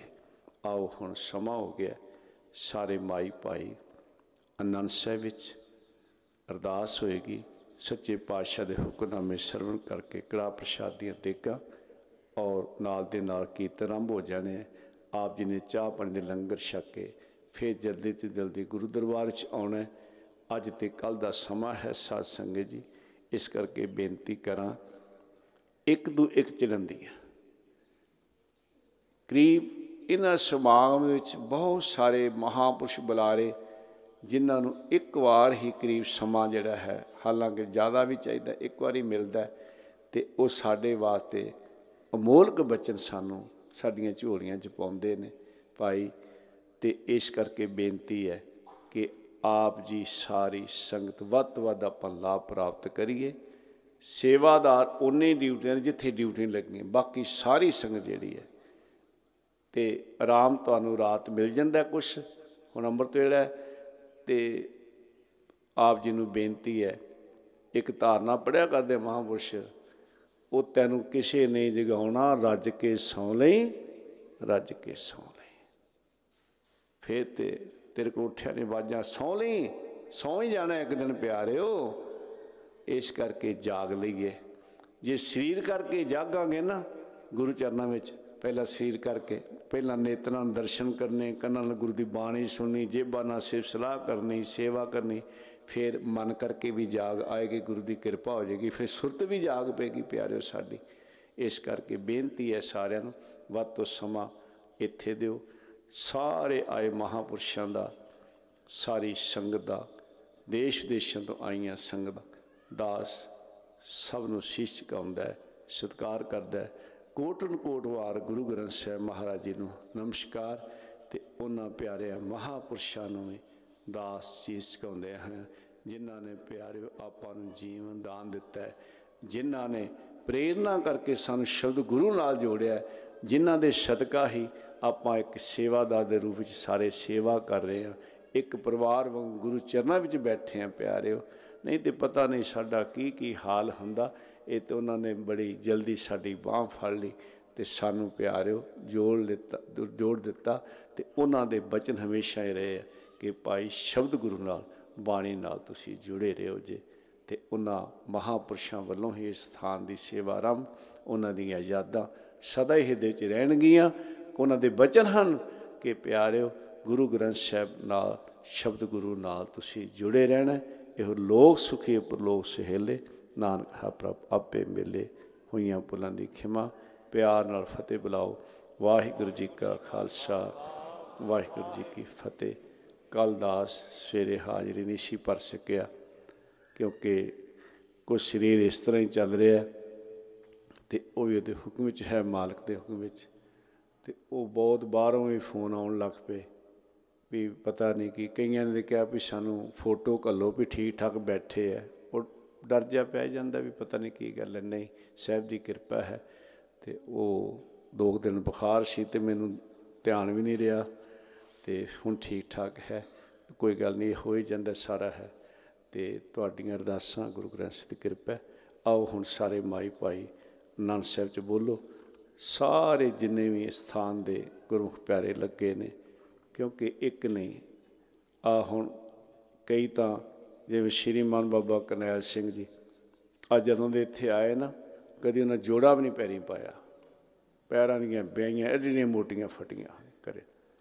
ਲੱਗੇ ਰਹਿੰਦੇ। ਭਾਈ ਸੁਖਿੰਦਰ ਸਿੰਘ ਜੀ, ਆ ਜਦੋਂ ਦੀ ਮੀਟਿੰਗਾਂ ਸ਼ੁਰੂ ਹੋਈਆਂ, ਦਿਨ ਰਾਤ ਲੱਗੇ ਹੋਏ ਨੇ। ਕਿੰਨੇ ਨੇ ਹੋਰ ਗੁਰੂ ਪਿਆਰੇ? ਸਾਰੇ ਸੇਵਾ 'ਚ ਲੱਗੇ ਹੋਏ ਨੇ ਪਿਆਰੇ। ਤੇ ਦਾਸ ਤੇ ਅਰਦਾਸ ਹੀ ਕਰਦਾ ਕਿ ਸੱਚੇ ਪਾਤਸ਼ਾਹ ਸਭ ਤੇ ਮਿਹਰ, ਸਭ ਤੇ ਕਿਰਪਾ ਕਰੋ ਤੇ ਇਹ ਸਾਡਾ ਜੀਵਨ ਜਿਹੜਾ ਹੈ ਸਫਲਾ ਹੋਵੇ। ਸਾਰੇ ਨਾਂ ਸੱਚ ਬੋਲਣ ਦੀ ਖੇਚਲ ਕਰੋ ਜੀ। ਰਾਮ ਕਲੀ ਮਹੱਲਾ ਤੀਜਾ ਆਨੰਦ, ਇੱਕ ਓੰਕਾਰ ਸਤਿਗੁਰ ਪ੍ਰਸਾਦ। ਆਨੰਦ ਪਿਆ ਮੇਰੀ ਮਾਏ।